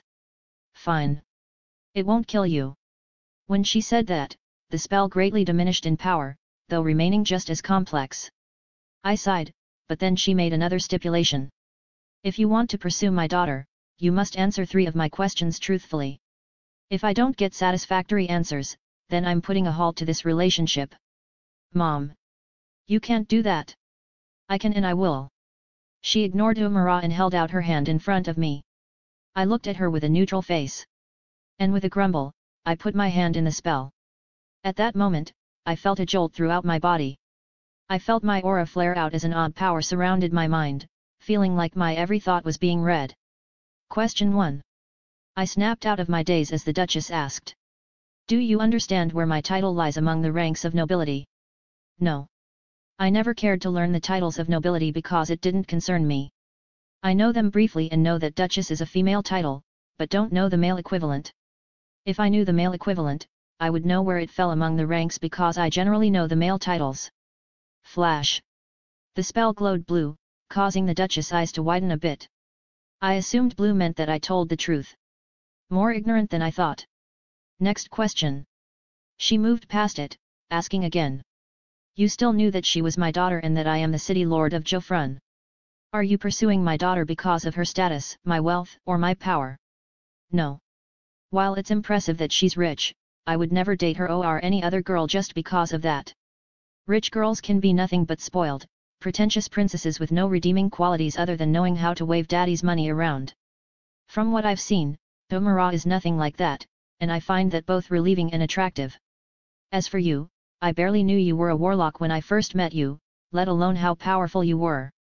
It didn't even cross my mind until a minute ago when I got confused about your noble title. Flash. After I stopped talking, the formation flashed blue again. This time, the Duchess was smiling a bit at my answer. But she still moved on to the next. Alright, last question. Your intentions seem pure, but I question your seriousness. Do you pursue this relationship simply because my daughter is beautiful and you seek her virginity, or do you seek a long-term commitment with the prospect of marriage? Mom! That's too much! Umara almost screamed, her face turning entirely red. But I simply looked the Duchess in the eye as I answered. I don't fuck around with my relationships. More than anything I've wanted a woman who would love me and support me just as much as I loved and supported her, as generic as that may sound to some people. If we reach that point in the future, and enough time passes to affirm our compatibility and cement our relationship, then there's no reason why marriage wouldn't be in the cards. Flash. I saw yet another blue glow, smiling to myself. Sure, Umara was beautiful and I'd be lying to say that I didn't want to get intimate with her. But like almost every man, I've always wanted a mutually loving relationship that could become something more than just a temporary fling or a sex friend. Unfortunately, that seemed to be hard to find while I was on Earth as a college-aged male. Hum. The Duchess hummed while dispersing the spell. Fine, I've heard enough. Dear, could you please get off the floor? We both looked down, seeing Umara curled up in a ball on the ground, her head completely covered by her robes. I barely held back a laugh as the Duchess sighed. I'll be in the city for today, so I'd like to see you for dinner, daughter. I'll be here at 8 to pick you up.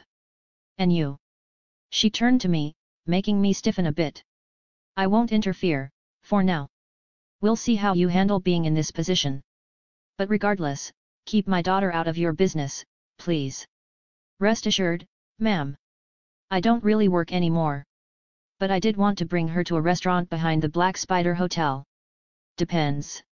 The caviar restaurant. Oh. Fine, I'll allow it. She waved, almost looking pleased that I had chosen that one. With that, she took her leave, saying she had business to attend to. And it was only after she disappeared that Umara finally pulled herself off the ground. Plex also nudged me with his elbow. Hey, what did you talk about? She isolated the sound. Nothing. Yeah right. I saw the lie detection spell. Nothing that concerns you. Fine. Now, who's the girlfriend? He looked at Umara as she dusted herself off, doing her best to look like nothing had happened. Seeing Plex, she smiled and put her hand out, her face still rosy. Hello, I'm Umara. A pleasure to meet John's friends. Oh, they're his friends. I'm just his boss. Still, it's a pleasure to make your acquaintance. Plex smiled and shook Umara's hand, his words making my brow twitch as I kicked him in the shin. When he backed away, Umara greeted Libitus and Rayla as my girlfriend. It seems that after the Duchess line of questioning, there was no more suspense about where we were at so she openly went with it. But she spoke with none of the embarrassment or shyness from earlier. I could see what looked like her noble etiquette kick in as she carried herself professionally and relatively confidently. Still, I could also see the surprise on Rayla's face. And I couldn't help but stress a bit. This wasn't how I was planning to do this at all. End NBSP. End Chapter 50, Girlfriend. Thank you. Please give one subscribe if you are happy. Don't forget to follow, I will continuously release new stories.